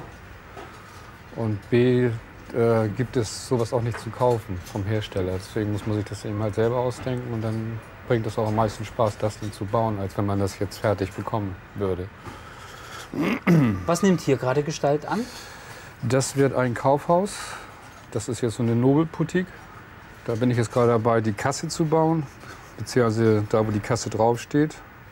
Wenn du ein neues Szenario entwirfst, ist es dann für die anderen Kollegen und Mitarbeiter immer eine Überraschung und ein Geheimnis bis zu dem Moment, wo es dann auf der Anlage erscheint? Oder kommen die auch vorher immer schon mal vorbei und gucken, was hier passiert? Ja, man kann es gar nicht geheim halten, weil jeder, der jetzt hier vorbeikommt, der guckt natürlich, oder mein Arbeitskollege, der neben mir sitzt oder der hier mir gegenüber sitzt, da guckt man auch, oder wenn man irgendwas braucht, dann geht man natürlich auch hin und fragt, hast du das und das? Und dann guckt man natürlich, was macht er gerade. Das ist ja nun kein normaler beruflicher Werdegang. Wie, wie wird man denn Szenarienbauer beim Miniaturwunderland?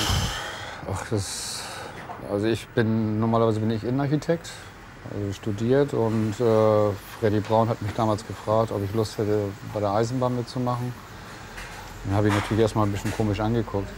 Wie Eisenbahn? Ja, hast du noch nie mit Eisenbahn gespielt? Ich sage, nee, überhaupt nicht. Ich sage, ich kann dir auch nicht sagen, ob ich das bringen würde, weil da muss man natürlich ganz anders umdenken. Und das fiel mir, muss ich ganz ehrlich sagen, am Anfang auch ziemlich schwer, das umzusetzen. Aber jetzt ist es eigentlich ja, normal geworden, im Grunde genommen. Gibt es denn Szenarien, an denen dein Herz besonders hängt? Oder wenn sie dann auf der Anlage stehen, sind sie auch aus deinem Gedanken weg? Äh, Nee, also da gibt es schon so einige Sachen. Äh, Ich habe jetzt gerade diesen Antik-Möbelmarkt fertiggestellt auf der Anlage, den wir so auch so noch nicht hatten. Weil ich selber fast jedes Wochenende auf den Flohmärkten rumlaufe und Antikmöbelmärkten. Und habe ich gesagt, okay, das müssen wir auch auf der Anlage haben. Ja, und dann das Highlight schlechthin ist Schweden, die Schneelandschaft. Also ich habe komplett Schweden gebaut, außer jetzt die Berggeschichte da re rechts von Schweden. Das habe ich nicht gemacht, aber sonst alles. Und äh, da habe ich damals auch zu Freddy gesagt, also wenn wir Schweden machen, dann möchte ich es ganz gerne mit Schnee machen und dann auch richtig Schnee, nicht so hier vorne wie auf den Alpen, wo nur so ein bisschen Schnee ist. Also es muss richtig zugeschneit sein. Also das ist für mich eigentlich das Highlight. Und da gibt es noch so andere Geschichten, so wie das Sonnenblumenfeld oder Habenix Tierpark oder Amerika vorne. Also es gibt viele Sachen. Privat haben Sie aber wohl keine Modellbahn, das reicht. Nee, ich habe auch noch nie eine Modellbahn besessen. Also ich habe Carrera-Bahn früher gehabt, aber Eisenbahn selber nie. Hat mich auch nie interessiert, komischerweise.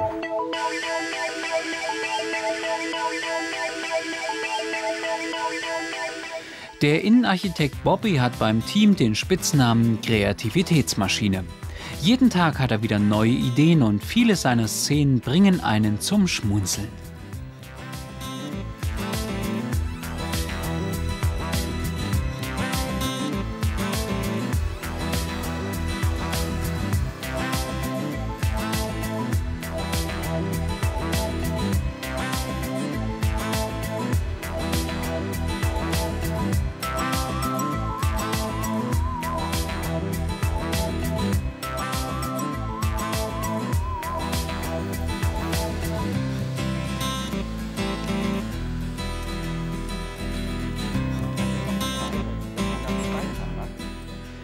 Diese Bretteransammlung soll ein Flughafen werden. Und wie immer natürlich was ganz Besonderes. In den fünf Jahren, die es die Hamburger Ausstellung mittlerweile gibt, ist sie immer weiter gewachsen, Stück für Stück. Und dieser Prozess ist noch längst nicht zu Ende. Nein, er geht immer weiter. Und das Ganze läuft nicht nur hinter verschlossenen Türen ab. In Hamburg gilt der Spruch, Betreten der Baustelle erlaubt. Und dann sieht man ihn meistens mittendrin, den Chef Gerrit Braun mit seinen neuen verrückten Ideen.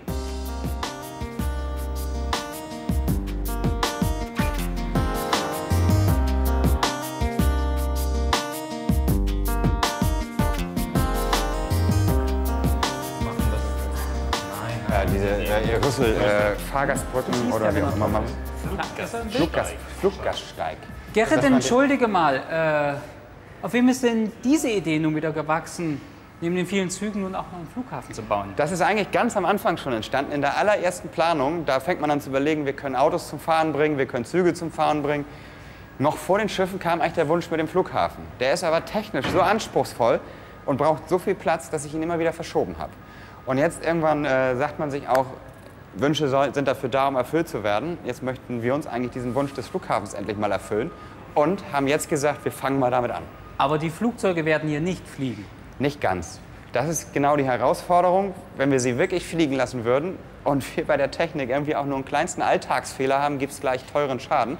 Abgesägte Häuser und natürlich das Flugzeug ist kaputt. Nicht daran zu denken, dass das Ding aus der Kontrolle geraten, eventuell auch in die Zuschauer fliegen könnten. Deswegen haben wir ziemlich früh gesagt, nicht fliegen. Aber die Variante mit den Bändern ist so zum hier mal so zur Schau stellen ganz nett. Aber in dem Moment, wo man Bänder anfängt zu bewegen, schaukelt es. Auch nicht gut. Dann hatten wir überlegt mit Stangen von unten, von oben, von der Seite oder woher auch immer. Und da haben wir jetzt meiner Meinung nach einen Kompromiss gefunden. Und ich hoffe einfach, dass es die Lösung ist. Die Technik steht komplett. Hier im Kopf und bei ein paar Kollegen, wir, mit denen wir das zusammen geplant haben, steht eigentlich. Und die Flugzeuge sind auch im H0-Maßstab 1 zu 87 oder muss man da einen anderen Kompromiss machen, weil es das gerade nicht gibt? Da ist das Problem, es gibt sie nur in 1 zu 100. Da ist das nächste Problem, das ist ein Maßstab, der bei Flugzeugmodellbauern früher mal beliebt war und heutzutage nicht mehr. Das heißt, diese Flugzeuge, die hier zum Beispiel in der Decke hängen, das sind zwar Maßstab 100 Flugzeuge, aber die sind nicht mehr der Modellbau, wie man es kennt. Das sind alles Einzelstücke, die aus Vollguss gefertigt sind. So den Modellbausatz, den man im Laden kaufen kann in 1 zu 100, gibt es keine aktuellen Verkehrsflugzeuge. Das heißt, wir stehen im Moment wirklich vor dem Problem, die selbst bauen zu müssen. Das gelbe Plakat zeigt ja schon an, es wird ungefähr noch ein Jahr dauern, bis der Flughafen fertig ist. Und danach geht es immer weiter oder ist irgendwann einfach mal der Platz komplett verbaut hier? Theoretisch ist der Platz irgendwann verbaut. Das haben wir aber schon dreimal gesagt und haben dann doch wieder eine Mietfläche dazugenommen in diesem Haus. Jetzt haben wir mittlerweile Hälfte des fünften Stocks, den vierten, den dritten komplett, Hälfte des zweiten Stocks. Es ist zwar so, dass hier auch andere Mieter sind und ich möchte jetzt nicht irgendwie sagen GEMA oder so, aber es ist halt so, es wird immer mal irgendwo was frei. Es ist zwar nicht mehr so viel Platz hier in dem Gebäude, das heißt, ich hoffe einfach mal und ich gehe auch fest davon aus, bis jetzt hat es geklappt, dass das immer irgendwie klappte, dass wir noch mehr Platz kriegten. Aber auch für die Notlösung, dass wir in zehn Jahren sagen, wir haben keinen Platz mehr, würde uns was einfallen lassen. Und wenn es eine Brücke über den Fleet ist, in den Nachbarspeicher, denn da ist noch ganz viel frei. Fünf Jahre lang haben die Jungs vom Hamburger Miniaturwunderland Tag und Nacht gearbeitet, damit ihre Anlage zu solch einem Schmuckstück wurde. Der Rentner Volkmar Schumann aus Lutherstadt-Wittenberg hat das ganze Leben an seiner Modelleisenbahn gebastelt. Und das Ergebnis kann sich mehr als sehen lassen.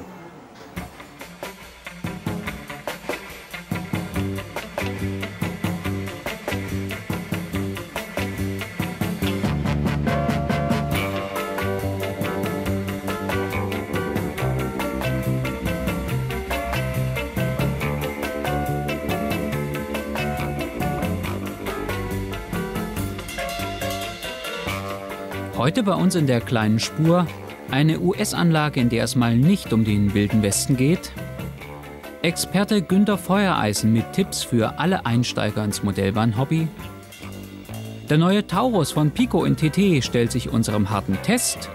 Und wir schicken die Züge der alten Spreewaldbahn noch einmal in Spur 1 auf eine nostalgische Reise. Hallo und herzlich willkommen zur neuesten Ausgabe von Auf kleiner Spur, dem Modellbahnmagazin, nicht nur für Niedenzähler. Heute von der ältesten betriebsfähigen Schmalspurbahn Deutschlands, der Mansfelder Bergwerksbahn. Und die ist gerade stolze 125 Jahre alt geworden und feiert das auch entsprechend am Bahnhof Bendorf. Tja, das lange Warten ist endlich vorüber. Unsere Sommerpause ist zu Ende. Und wenn Sie wissen wollen, was sich inzwischen auf der kleinen Spur bewegt, dann kommen Sie ganz einfach mit auf die Leipziger Messe Modell, Hobby, Spiel. Auftritt eines Messestars. Mit dieser Lok der Rätischen Bahn steigt die Firma Brava ins Gartenbahngeschäft ein. Das 1300 Euro teure Schmuckstück drehte in Leipzig erstmals öffentlich seine Kreise und gehörte zu den Neuheiten auf der Veranstaltung, die insgesamt 110.000 Besucher anlockte. Ein absoluter Rekord und das passend zum Jubiläum. Denn die Messe fand in diesem Jahr zum zehnten Mal statt. Wir haben angefangen mit 42 Ausstellern aus dem Modellbahnbereich und sind in diesem Jahr bei 155 Ausstellern. Ich denke, das ist eine gute Entwicklung. Ebenfalls brandneu der Desiro in TT, Preis ca. 220 Euro. Die Firma Tillich hatte ihn im Gepäck. Die Sebnitzer sind seit Anfang an in Leipzig dabei. Am Stand erinnert man sich noch gut an den mühsamen Beginn. Damals sah die Situation wirklich ganz anders aus. Wir waren die ersten Tage fast ganz alleine hier auf der Messe. Es ist äh, an dem Sonnabendnachmittag dann ordentlich Publikum zwar da gewesen, aber die anderen Tage nicht. Das hat sich äh, gut zwei Jahre so hingezogen, sodass wir eigentlich gedacht haben, dass es damit dann erledigt ist. Doch es kam zum Glück anders. Auch weil viele Aussteller der ersten Stunde der Messe einfach die Treue hielten. Nach der ersten Messe war das schon klar, äh, wenn es die Messe durchsteht, dann sind wir auch immer dabei. Und die macht es ja an für sich mit Bravour, sind ja genug Leute da. Diesmal präsentierte die Marienberger Firma neben der neuen Tankstelle auch diesen Lokschuppen für rund 30 Euro und den Bauhof für knapp 17 Euro. Leipzig ist mittlerweile ein Muss für alle namhaften Hersteller. Keiner kann es sich leisten, durch Abwesenheit zu glänzen. Immerhin hat die Messe ein großes Einzugsgebiet. Jeder vierte Besucher vor über 100 Kilometer, um dabei zu sein. Wir sind fast jedes Jahr hier. Mindestens achtmal. Fast jedes Jahr. Wir sind schon öfters hier gewesen in Leipzig. Und dieses Jahr ist wieder sehr gute. Also sind schöne Anlagen dabei und auch viele Aussteller haben gute Sachen mitgebracht. Also muss man schon schauen. Zum Beispiel über den batteriebetriebenen Grasmaster der Firma Noch. Damit kann man kinderleicht ruckzuck Gras wachsen lassen. Der Preis rund 130 Euro. Zum Vergleich, die bisherigen netzbetriebenen Geräte kosten rund 700 Euro.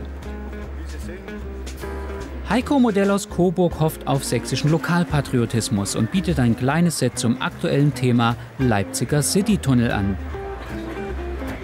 Aber was wären die Messetage ohne tolle Modellbahnanlagen wie die der Eisenbahnfreunde Friesland aus dem hohen Norden? Ihr Highlight in Größe N, der Nachbau der Klappbrücken Mariensiel. Die führen im Original bei Wilhelmshaven über den Ems-Jade-Kanal. Oder die 120 Quadratmeter große Gartenbahn des Marklebergers Holger vom Hofe. Er war bisher bei jeder Messe dabei und überzeugte auch 2005 mit einer äußerst aufwendig gestalteten Landschaft.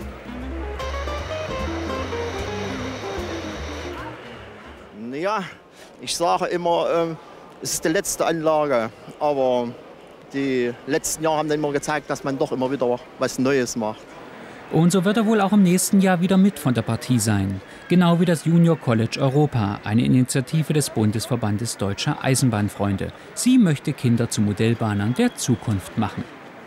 Wir haben uns als Ziel gestellt, Ihnen zu zeigen, äh, dass es lauter manuelle Tätigkeiten sind, Fingerfertigkeit, äh, gefragt ist, Kreativität gefragt ist und wollen ihnen zeigen, dass es gar nicht so schwer ist, indem sie es selber machen, nicht von Herren mit grauen Schläfen vorgeführt bekommen, sondern selbst tun. Und wer weiß, vielleicht wird mancher der Jugendlichen einmal so ein Meister seines Faches wie Michael Müller aus Wernigerode. Dessen TT-Schmuckstück war in diesem Jahr einer der Hingucker auf der Leipziger Modell Hobby Spiel und hat richtig Lust gemacht auf eine eigene Modelleisenbahn daheim.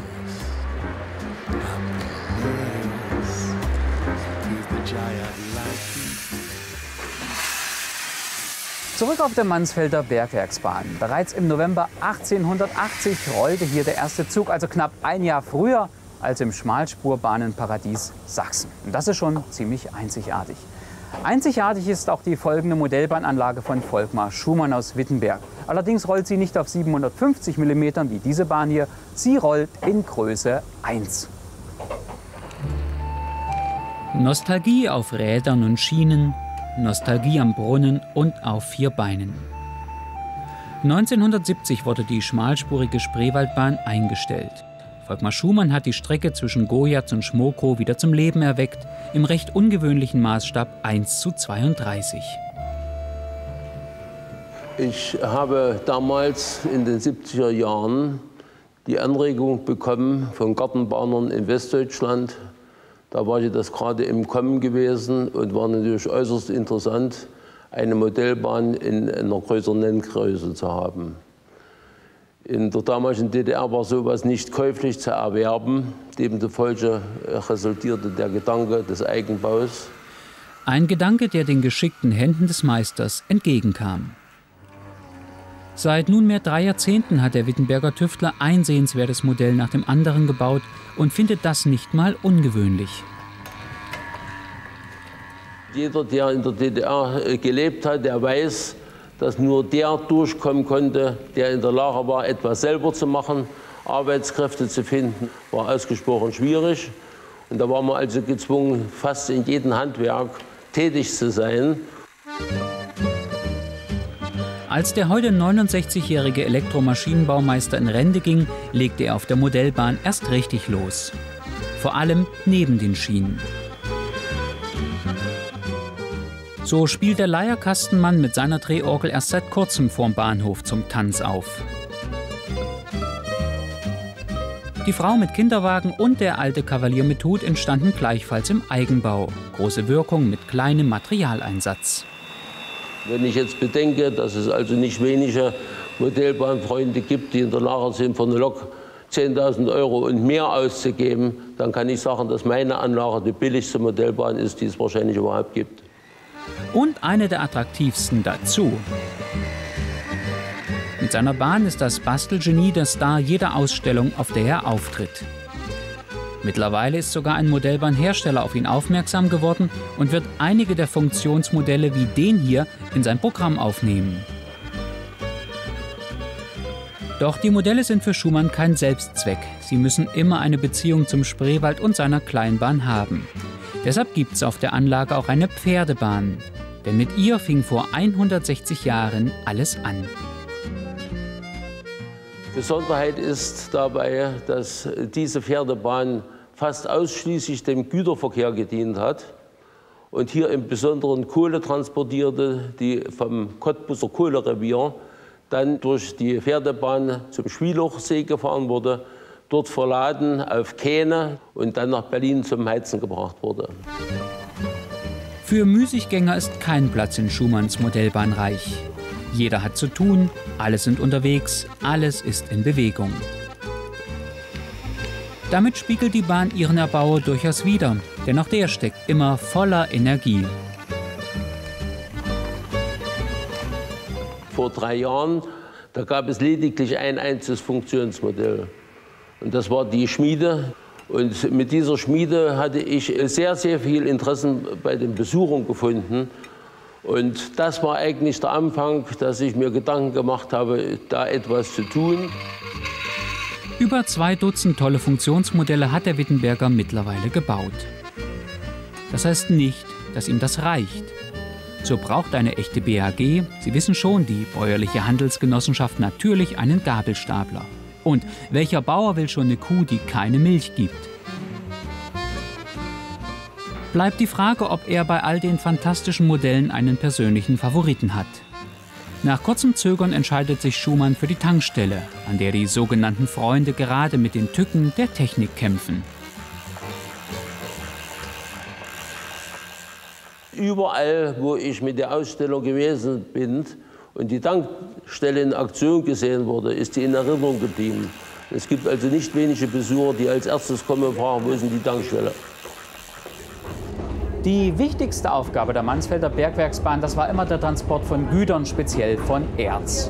Was viele nicht wissen, Es gab hier aber auch einen regelmäßigen Personenverkehr für die Werksangehörigen und zwar bis 1969. Mit der Wende da drohte der Kleinbahn das aus. Doch es gelang, einem Förderverein ein ca. 12 Kilometer langes Teilstück der Trasse zu erhalten. Das ging natürlich nur mit viel Engagement. Engagement, wie es auch unser Experte Günter Feuereisen zeigt, wenn es ums Thema Modelleisenbahn geht. Heute erklärt uns der Meister, wie einfach es im Grunde genommen ist, mit dem Hobby zu beginnen. Auf einem Fertiggelände mit digitaler Startpackung und handelsüblichen Zubehör soll eine Anlage entstehen. Das ist ein Fertiggelände im Anlieferungszustand. Dem liegen einige Ergänzungsteile dabei, unter anderem Brückenbausätze und eine Bedienungsanleitung. Zuerst müssen die beigelegten Sperrholzplatten unter die Anlage. Sie dienen in den Tunneln sozusagen als Fußboden. Außerdem empfiehlt sich, drei zusätzliche Sperrholzleisten quer unter der Platte anzuschrauben, um die Anlage stabiler zu machen. Die Anlage kann auf einen Tisch gestellt werden oder auf zwei Holzböcke. Dazu benötigt man noch zwei Bretter, um die notwendige Stabilität zu erreichen. Und schon kann die Eisenbahn aufgestellt werden. Nun werden die beigelegten Brückenteile zusammengebaut. Anschließend kommt unter jede Weiche ein Weichenantrieb. Und noch etwas empfiehlt unser Experte. Für den Aufbau einer Modelleisenbahn empfiehlt sich das Studium von Literatur, für die Technik Modellbahn digital, für den Landschaftsbau von noch dieses Einsteigerheft. Beim Verlegen der Gleise hält man sich einfach an den beigelegten Gleisplan. Dort ist jedes benötigte Gleis einzeln aufgeführt. Da passt der Bahndamm nicht zusammen. Da muss etwas abgeschnitten werden. Sind alle Gleise verlegt, wird an den Stellen, an denen sich Weichen befinden, ein Loch gebohrt. Hier kommt das Anschlusskabel durch. Nun werden die Gleise festgeschraubt und die Häuser können schon mal probehalber aufgestellt werden. Und wie es dann weitergeht, verrät Günter Feuereisen in unserer nächsten Sendung. Ein Programmpunkt beim Bahnjubiläum im Mansfelder Land, das ist die Schmalspur-Expo. Das heißt die alljährliche Ausstellung der Arbeitsgemeinschaft Schmalspur. In diesem Jahr unter anderem mit der Anlage von Herrn Popper aus Bremen zum Thema Spiekeroog. Bis eine Modellbahn so fein und detailliert ist wie diese Anlage, da vergehen natürlich ein paar Stunden. Aber wie sagt schon der Volksmund, Übung macht den Meister. Das gilt natürlich auch für diese Privatanlage. Eine scheinbar unendliche Miniaturwelt eröffnet sich, doch der Eindruck täuscht. Da hier der kleine Maßstab 1 zu 160, also Spur N, gewählt wurde, ist die gesamte Modellbahn von Mario Wermuth viel, viel kleiner, als man denkt. Die Anlage ist 80 in der Breite und 55 in der Tiefe. Passt also auf jede Schrankwandunterteile, die es gibt. Hm, kleines Fein, sagt man doch so, so schön. Es hat also den Vorteil äh, zu zeigen, dass auch auf wenig Raum etwas funktioniert, etwas fahren kann. Und manchmal sind äh, Leute, die zuschauen, ganz entsetzt, dass man auf wenig Raum viel unterbringt und viel Fahrbetrieb machen kann. Die Entscheidung für solch eine kleine Bahn hat Mario Wermuth nicht ganz freiwillig getroffen. Mit Frau und drei Kindern lebt er in einer Dreiraum-Neubauwohnung in Weimar. Die beengten Räumlichkeiten haben die Familie freilich nicht davon abgehalten, in der Wohnung noch weitere Modellbahnen zu bauen. Bei Sohn Titus im Zimmer steht diese Anlage, immerhin 1,60 Meter lang, dafür aber nicht einmal 40 cm breit. Nenngröße ist das hier Spur H0, aber halt Schmalspurbahn, also H0E. Und das soll halt eine industrielle Feldbahn im Prinzip sein mit äh, Kieswerk und Kohlegrube und Sägewerk. Der Vorteil einer Schmalspurbahngröße wie H0E liegt für die Wermuts auf der Hand. Zum einen nehmen die Gleise nicht so viel Platz weg wie bei einer normalen H0-Anlage. Zum anderen aber kann das vielfältige Zubehör, das es gerade für diese Nenngröße gibt, genutzt werden. Deshalb befindet sich auf dieser Bahn sogar ein richtiges Car-System, also fahrende Autos. Und es gibt bei den Wermuts daheim in Weimar noch mehr Modellbahnen. Jonathan, der jüngste Spross, wartet darauf, dass auf der Steigenheimer Lokalbahn endlich wieder mal was rollt. Dahinter verbirgt sich eine Fantasieanlage in Spur N, angesiedelt irgendwo im Mittelgebirge. Mit dieser Bahn waren die Wermuts schon mehrmals auf Ausstellungen. Die überschaubaren Abmessungen ermöglichen den unkomplizierten Transport. Für die Familie ein weiterer Vorteil ihrer kleinen Anlagen. Der gebirgige Charakter mit mehreren Ebenen sorgt dafür, dass das Erlebnismodellbahn trotzdem nicht zu kurz kommt. Ich sage immer, der Grundsatz, äh, ich kann keine Eisenbahn oder keine Modellbahn haben, weil ich keinen Platz habe, den gibt es bei mir nicht. Einen Nachteil haben die kleinen Bahnen dann aber doch.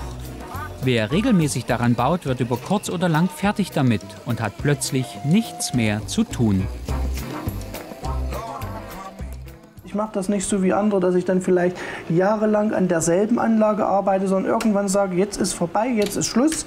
Entweder wird sie dann abgerissen und was Neues gemacht oder dann eben in den Verkauf gegeben. Apropos was Neues gemacht. Gerade hat Papa Wermut eine vierte Anlage gebaut und darüber freut sich vor allem Sohn Jonathan. Ja, in Siers Leben ist eigentlich alles vorhanden, was die Eisenbahn ausmacht. Nur eine Oberleitung fehlt. Und deswegen kann ein Taurus hier auch nicht fahren. Wir aber haben das neueste Pico TT-Modell dieser Maschine für Sie einmal auf Herz und Nieren getestet. Taurus, zu Deutsch der Stier, das steht für eine moderne, schnelle und leistungsstarke E-Lok. So sieht das Original aus und so das Modell im Maßstab 1 zu 120. Keiner hat gewusst, dass Pico mit einem TT-Modell auf der Nürnberger Spielwarenmesse überraschen würde. Es hat sowohl die Fans als auch die Fachleute total überrascht. Es war ein echter Coup auf der Spielwarenmesse, denn zum ersten Mal wagte sich die Sonneberger Firma, bisher nur durch H0-Loks bekannt, an eine Maschine mit der Spurweite 12 mm. Auf den ersten Blick hinterlässt der kleine Taurus einen guten Eindruck. Die bedruckten Radscheiben sehen aus wie ihr Vorbild.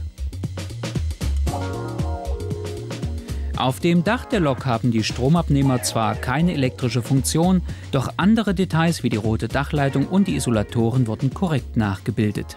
Der Modellbahner bekommt für einen Preis von nicht einmal 50 Euro im Grunde ein rundum gelungenes Modell. Natürlich gibt es hier und da in den Details Abstriche, aber man muss das ins Verhältnis zum Preis setzen. Und hier ist der Einstieg äh, der Firma Pico in einer preiswerten Modelllinie durchaus gelungen. Und damit ab auf die Teststrecke. Auch dort eine Premiere. Die Fahrleistungen werden mit einem neuen Geschwindigkeitsmesser ermittelt. Er ist für 99 Euro im Fachhandel erhältlich. Für eine ruckfreie Fahrt benötigt der Taurus 3,2 Volt Spannung am Trafo. Damit ist er umgerechnet rund 16 km/h schnell. Liegen am Travo 12 Volt an, fährt die Lok umgerechnet 233 km/h. Das entspricht fast exakt der Höchstgeschwindigkeit des Originals, eine super Leistung. Und es gibt noch mehr Lob für die Lok. Sie wartet vor allem mit einem Motor auf, der über zwei Schwungmassen verfügt. Das verleiht der Lok ein ausgezeichnetes Fahrverhalten. Sie besitzt ferner eine digitale Schnittstelle, kann also auch für den Digitalbetrieb genutzt werden. Und was das Erstaunlichste ist, sie besitzt auch Haftreifen, was ihr eine durchaus respektable Zugkraft verleiht. Der Taurus in TT dürfte ein Erfolg werden, denn der Kompromiss zwischen einer aufwendigen Detaillierung und einem bezahlbaren Preis ist gelungen. Und schon jetzt darf spekuliert werden, wann Pico die ersten Bedruckungsvarianten dieser Maschine auf den Markt bringt. Im H0-Maßstab 1 zu 87 haben die Sonneberger das bereits vorgemacht. Hier gibt es inzwischen zahlreiche Farbversionen. Wir wagen jetzt einen Sprung, und zwar über den großen Teich. Das Land der unbegrenzten Möglichkeiten, hektisch, laut und schrill. Ob es wirklich so aussieht, wer weiß. Zwei Modellbahner aus Berlin und Geringswalde sehen es zumindest so. Diese US-Anlage ist ihr Gemeinschaftswerk. Es war der reine Zufall. Wir haben uns auf einer Ausstellung kennengelernt und äh, einfach geplaudert, wie man das halt so macht. Und äh, im Ergebnis kam raus, der eine hatte was, der andere hatte was. Und wir haben gesagt, wir machen einfach was zusammen. Gesagt, getan. Schnell wurden bei einem Bier Pläne geschmiedet. Irgendwann entstanden dann die ersten äh, Zwischenteile, um diese beiden eigenen Sachen zu verbinden. Und äh, ja, dann kam dies dazu und jenes dazu und jetzt sind wir bei über 16 Metern gelandet. 16 Meter, na gut, wenn es nicht mehr sind. Es reicht zumindest für ein kleines Stück vom großen Amerika. Allerdings haben die beiden US-Freaks in der Breite geknausert. Gerade mal 50 cm tief ist ihre Anlage. Es sind vor allem die hohen Kulissen, die helfen, den Traum von Amerika trotzdem wahr werden zu lassen. Irgendwann hat mich Amerika fasziniert. Wahrscheinlich fing das in der Kindheit irgendwann mal an, dass ich irgendwo eine rot-silberne Santa Fe Lok gesehen habe. Das ist, glaube ich, damals eine F7 gewesen. Das ist heute immer noch meine Lieblingslok. Und irgendwie hat sich da was festgefressen. Und das, obwohl die DDR-Läden nicht gerade überquollen vor amerikanischen Loks und Wagen. Es gab so gut wie gar nichts, aber man hat sich ja über jedes äh, Teil gefreut, was irgendwo nach Amerika aussah. Und es hat ein paar Importe gegeben über Polen. Die Loks wurden damals schon bei Mehano in Slowenien hergestellt und über Polen vertrieben. Und über irgendwelche Wege kamen die Sachen dann auch auf Tauschbörsen in der DDR und dort wurden die gekauft und getauscht. Während ein Amtrak-Überlandzug durch die Weiten Amerikas rollt, startet zur gleichen Zeit ein Vorortzug Richtung Union Station. Sein Weg führt zunächst mitten durch graue Viertel, denen jeglicher Hollywood-Glanz fehlt, Richtung Hafen. Dort schwimmt, Vogelgrippe hin oder her, eine Gruppe von Schwänen im Wasser. Leider gibt es nur die Schwäne als Figurenset, aber die Frau ist aus einem anderen Figurenset. Ähm, das ist eigentlich eine Frau, die an der Bahnsteigsperre steht und ihre Fahrkarte sucht. Aber jetzt sieht es so aus, als sucht sie noch ein Futter für die vier hungrigen äh, Schwäne, die hier kommen. Weiter geht die Reise nun quer durch Industriegebiete. Dann endlich ist die Union Station erreicht und mit ihr eine pulsierende amerikanische Metropole. In der City herrscht geschäftiges Treiben. Selbst im Maßstab 1 zu 87 scheint es den Traum zu geben, es vom Tellerwäscher zum Millionär zu bringen. Und auch die beiden Erbauer der kleinen Miniaturwelt haben sich ein Motto der Vereinigten Staaten längst zu eigen gemacht. Mehr, mehr, immer mehr.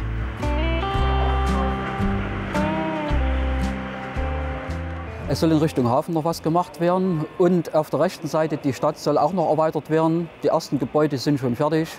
Bank, Hochhaus, Kirche und ein paar andere Kleinigkeiten. Und irgendwann wird das nächste Modul dran gebaut. Das ist der fünfte Bauabschnitt im Miniaturwunderland. Es sollen die Schweizer Alpen werden ein gigantisches Bauprojekt, das vor allem in die Höhe wachsen wird. Und ausgedacht hat sich das Ganze der Anlagenplaner Gerd Dauscher. Wie hoch geht es denn hier hinaus? Wir wollen auf sechs Meter hinaus. Das ist etwas Neues für euch. Ja, wir haben hier das erste Mal versucht, nicht in die Weite zu bauen, sondern in die Höhe.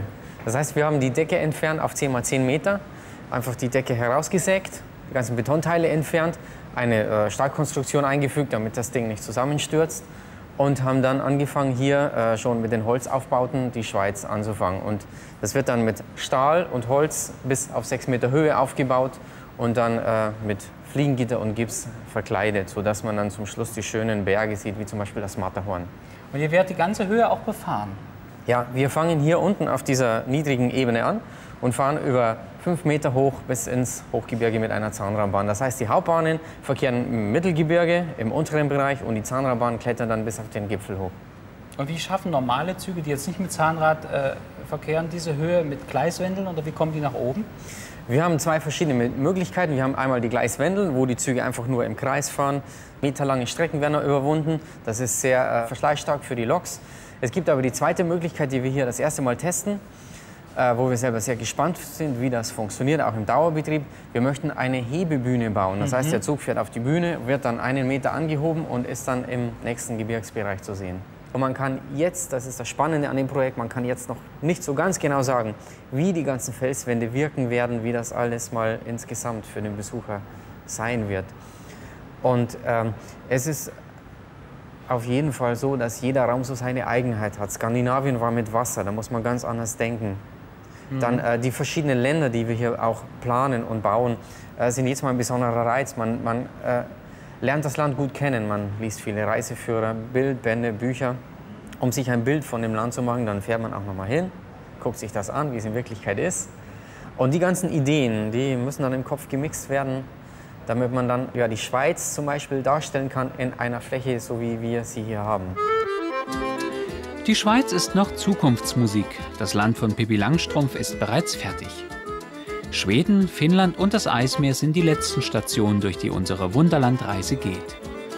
Je weiter nördlich wir kommen, desto dicker wird die Schneedecke. Und so sehen natürlich auch die kleinen Geschichten aus. Innerhalb von nur wenigen Metern kann man im Miniaturwunderland erstaunliche Distanzen zurücklegen. Wer zum Beispiel hinauf bis nach Schweden oder gar zum Eismeer will, er kann mit dem Zug fahren oder er nimmt besser einen Schlitten.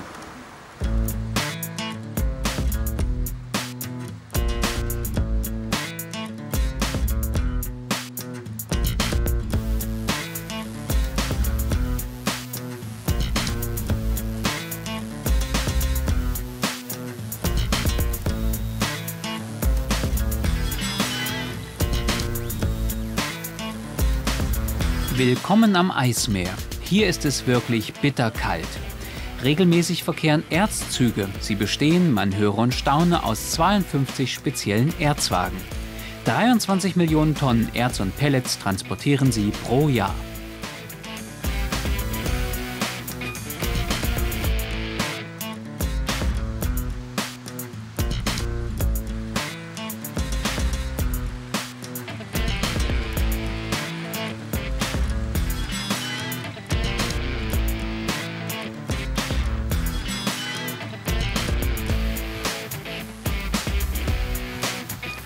In den skandinavischen Ländern ist das Modellbahnhobby nicht so verbreitet wie bei uns, demzufolge auch das Angebot an Bausätzen klein.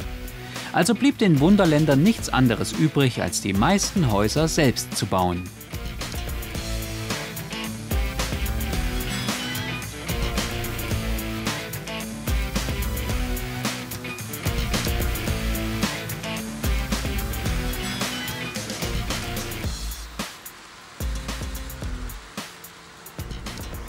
Unser Besuch im Miniatur Wunderland geht an dieser Stelle zu Ende. Toll, dass Sie auf dieser langen Reise mit an Bord waren. Wie sagt der Volksmund doch so schön, der nächste Winter, er kommt bestimmt. Vielleicht wäre das ja für Sie mal ein Grund, selbst in die Hamburger Ausstellung zu kommen. Aber nicht vergessen, vorher am 31. Oktober gibt es im MDR-Fernsehen die nächste Ausgabe von Auf kleiner Spur, dem Modellbahnmagazin nicht nur für Niedenzähler. Bis dahin, alles Gute. Tschüss, Ihr Robby Mürre.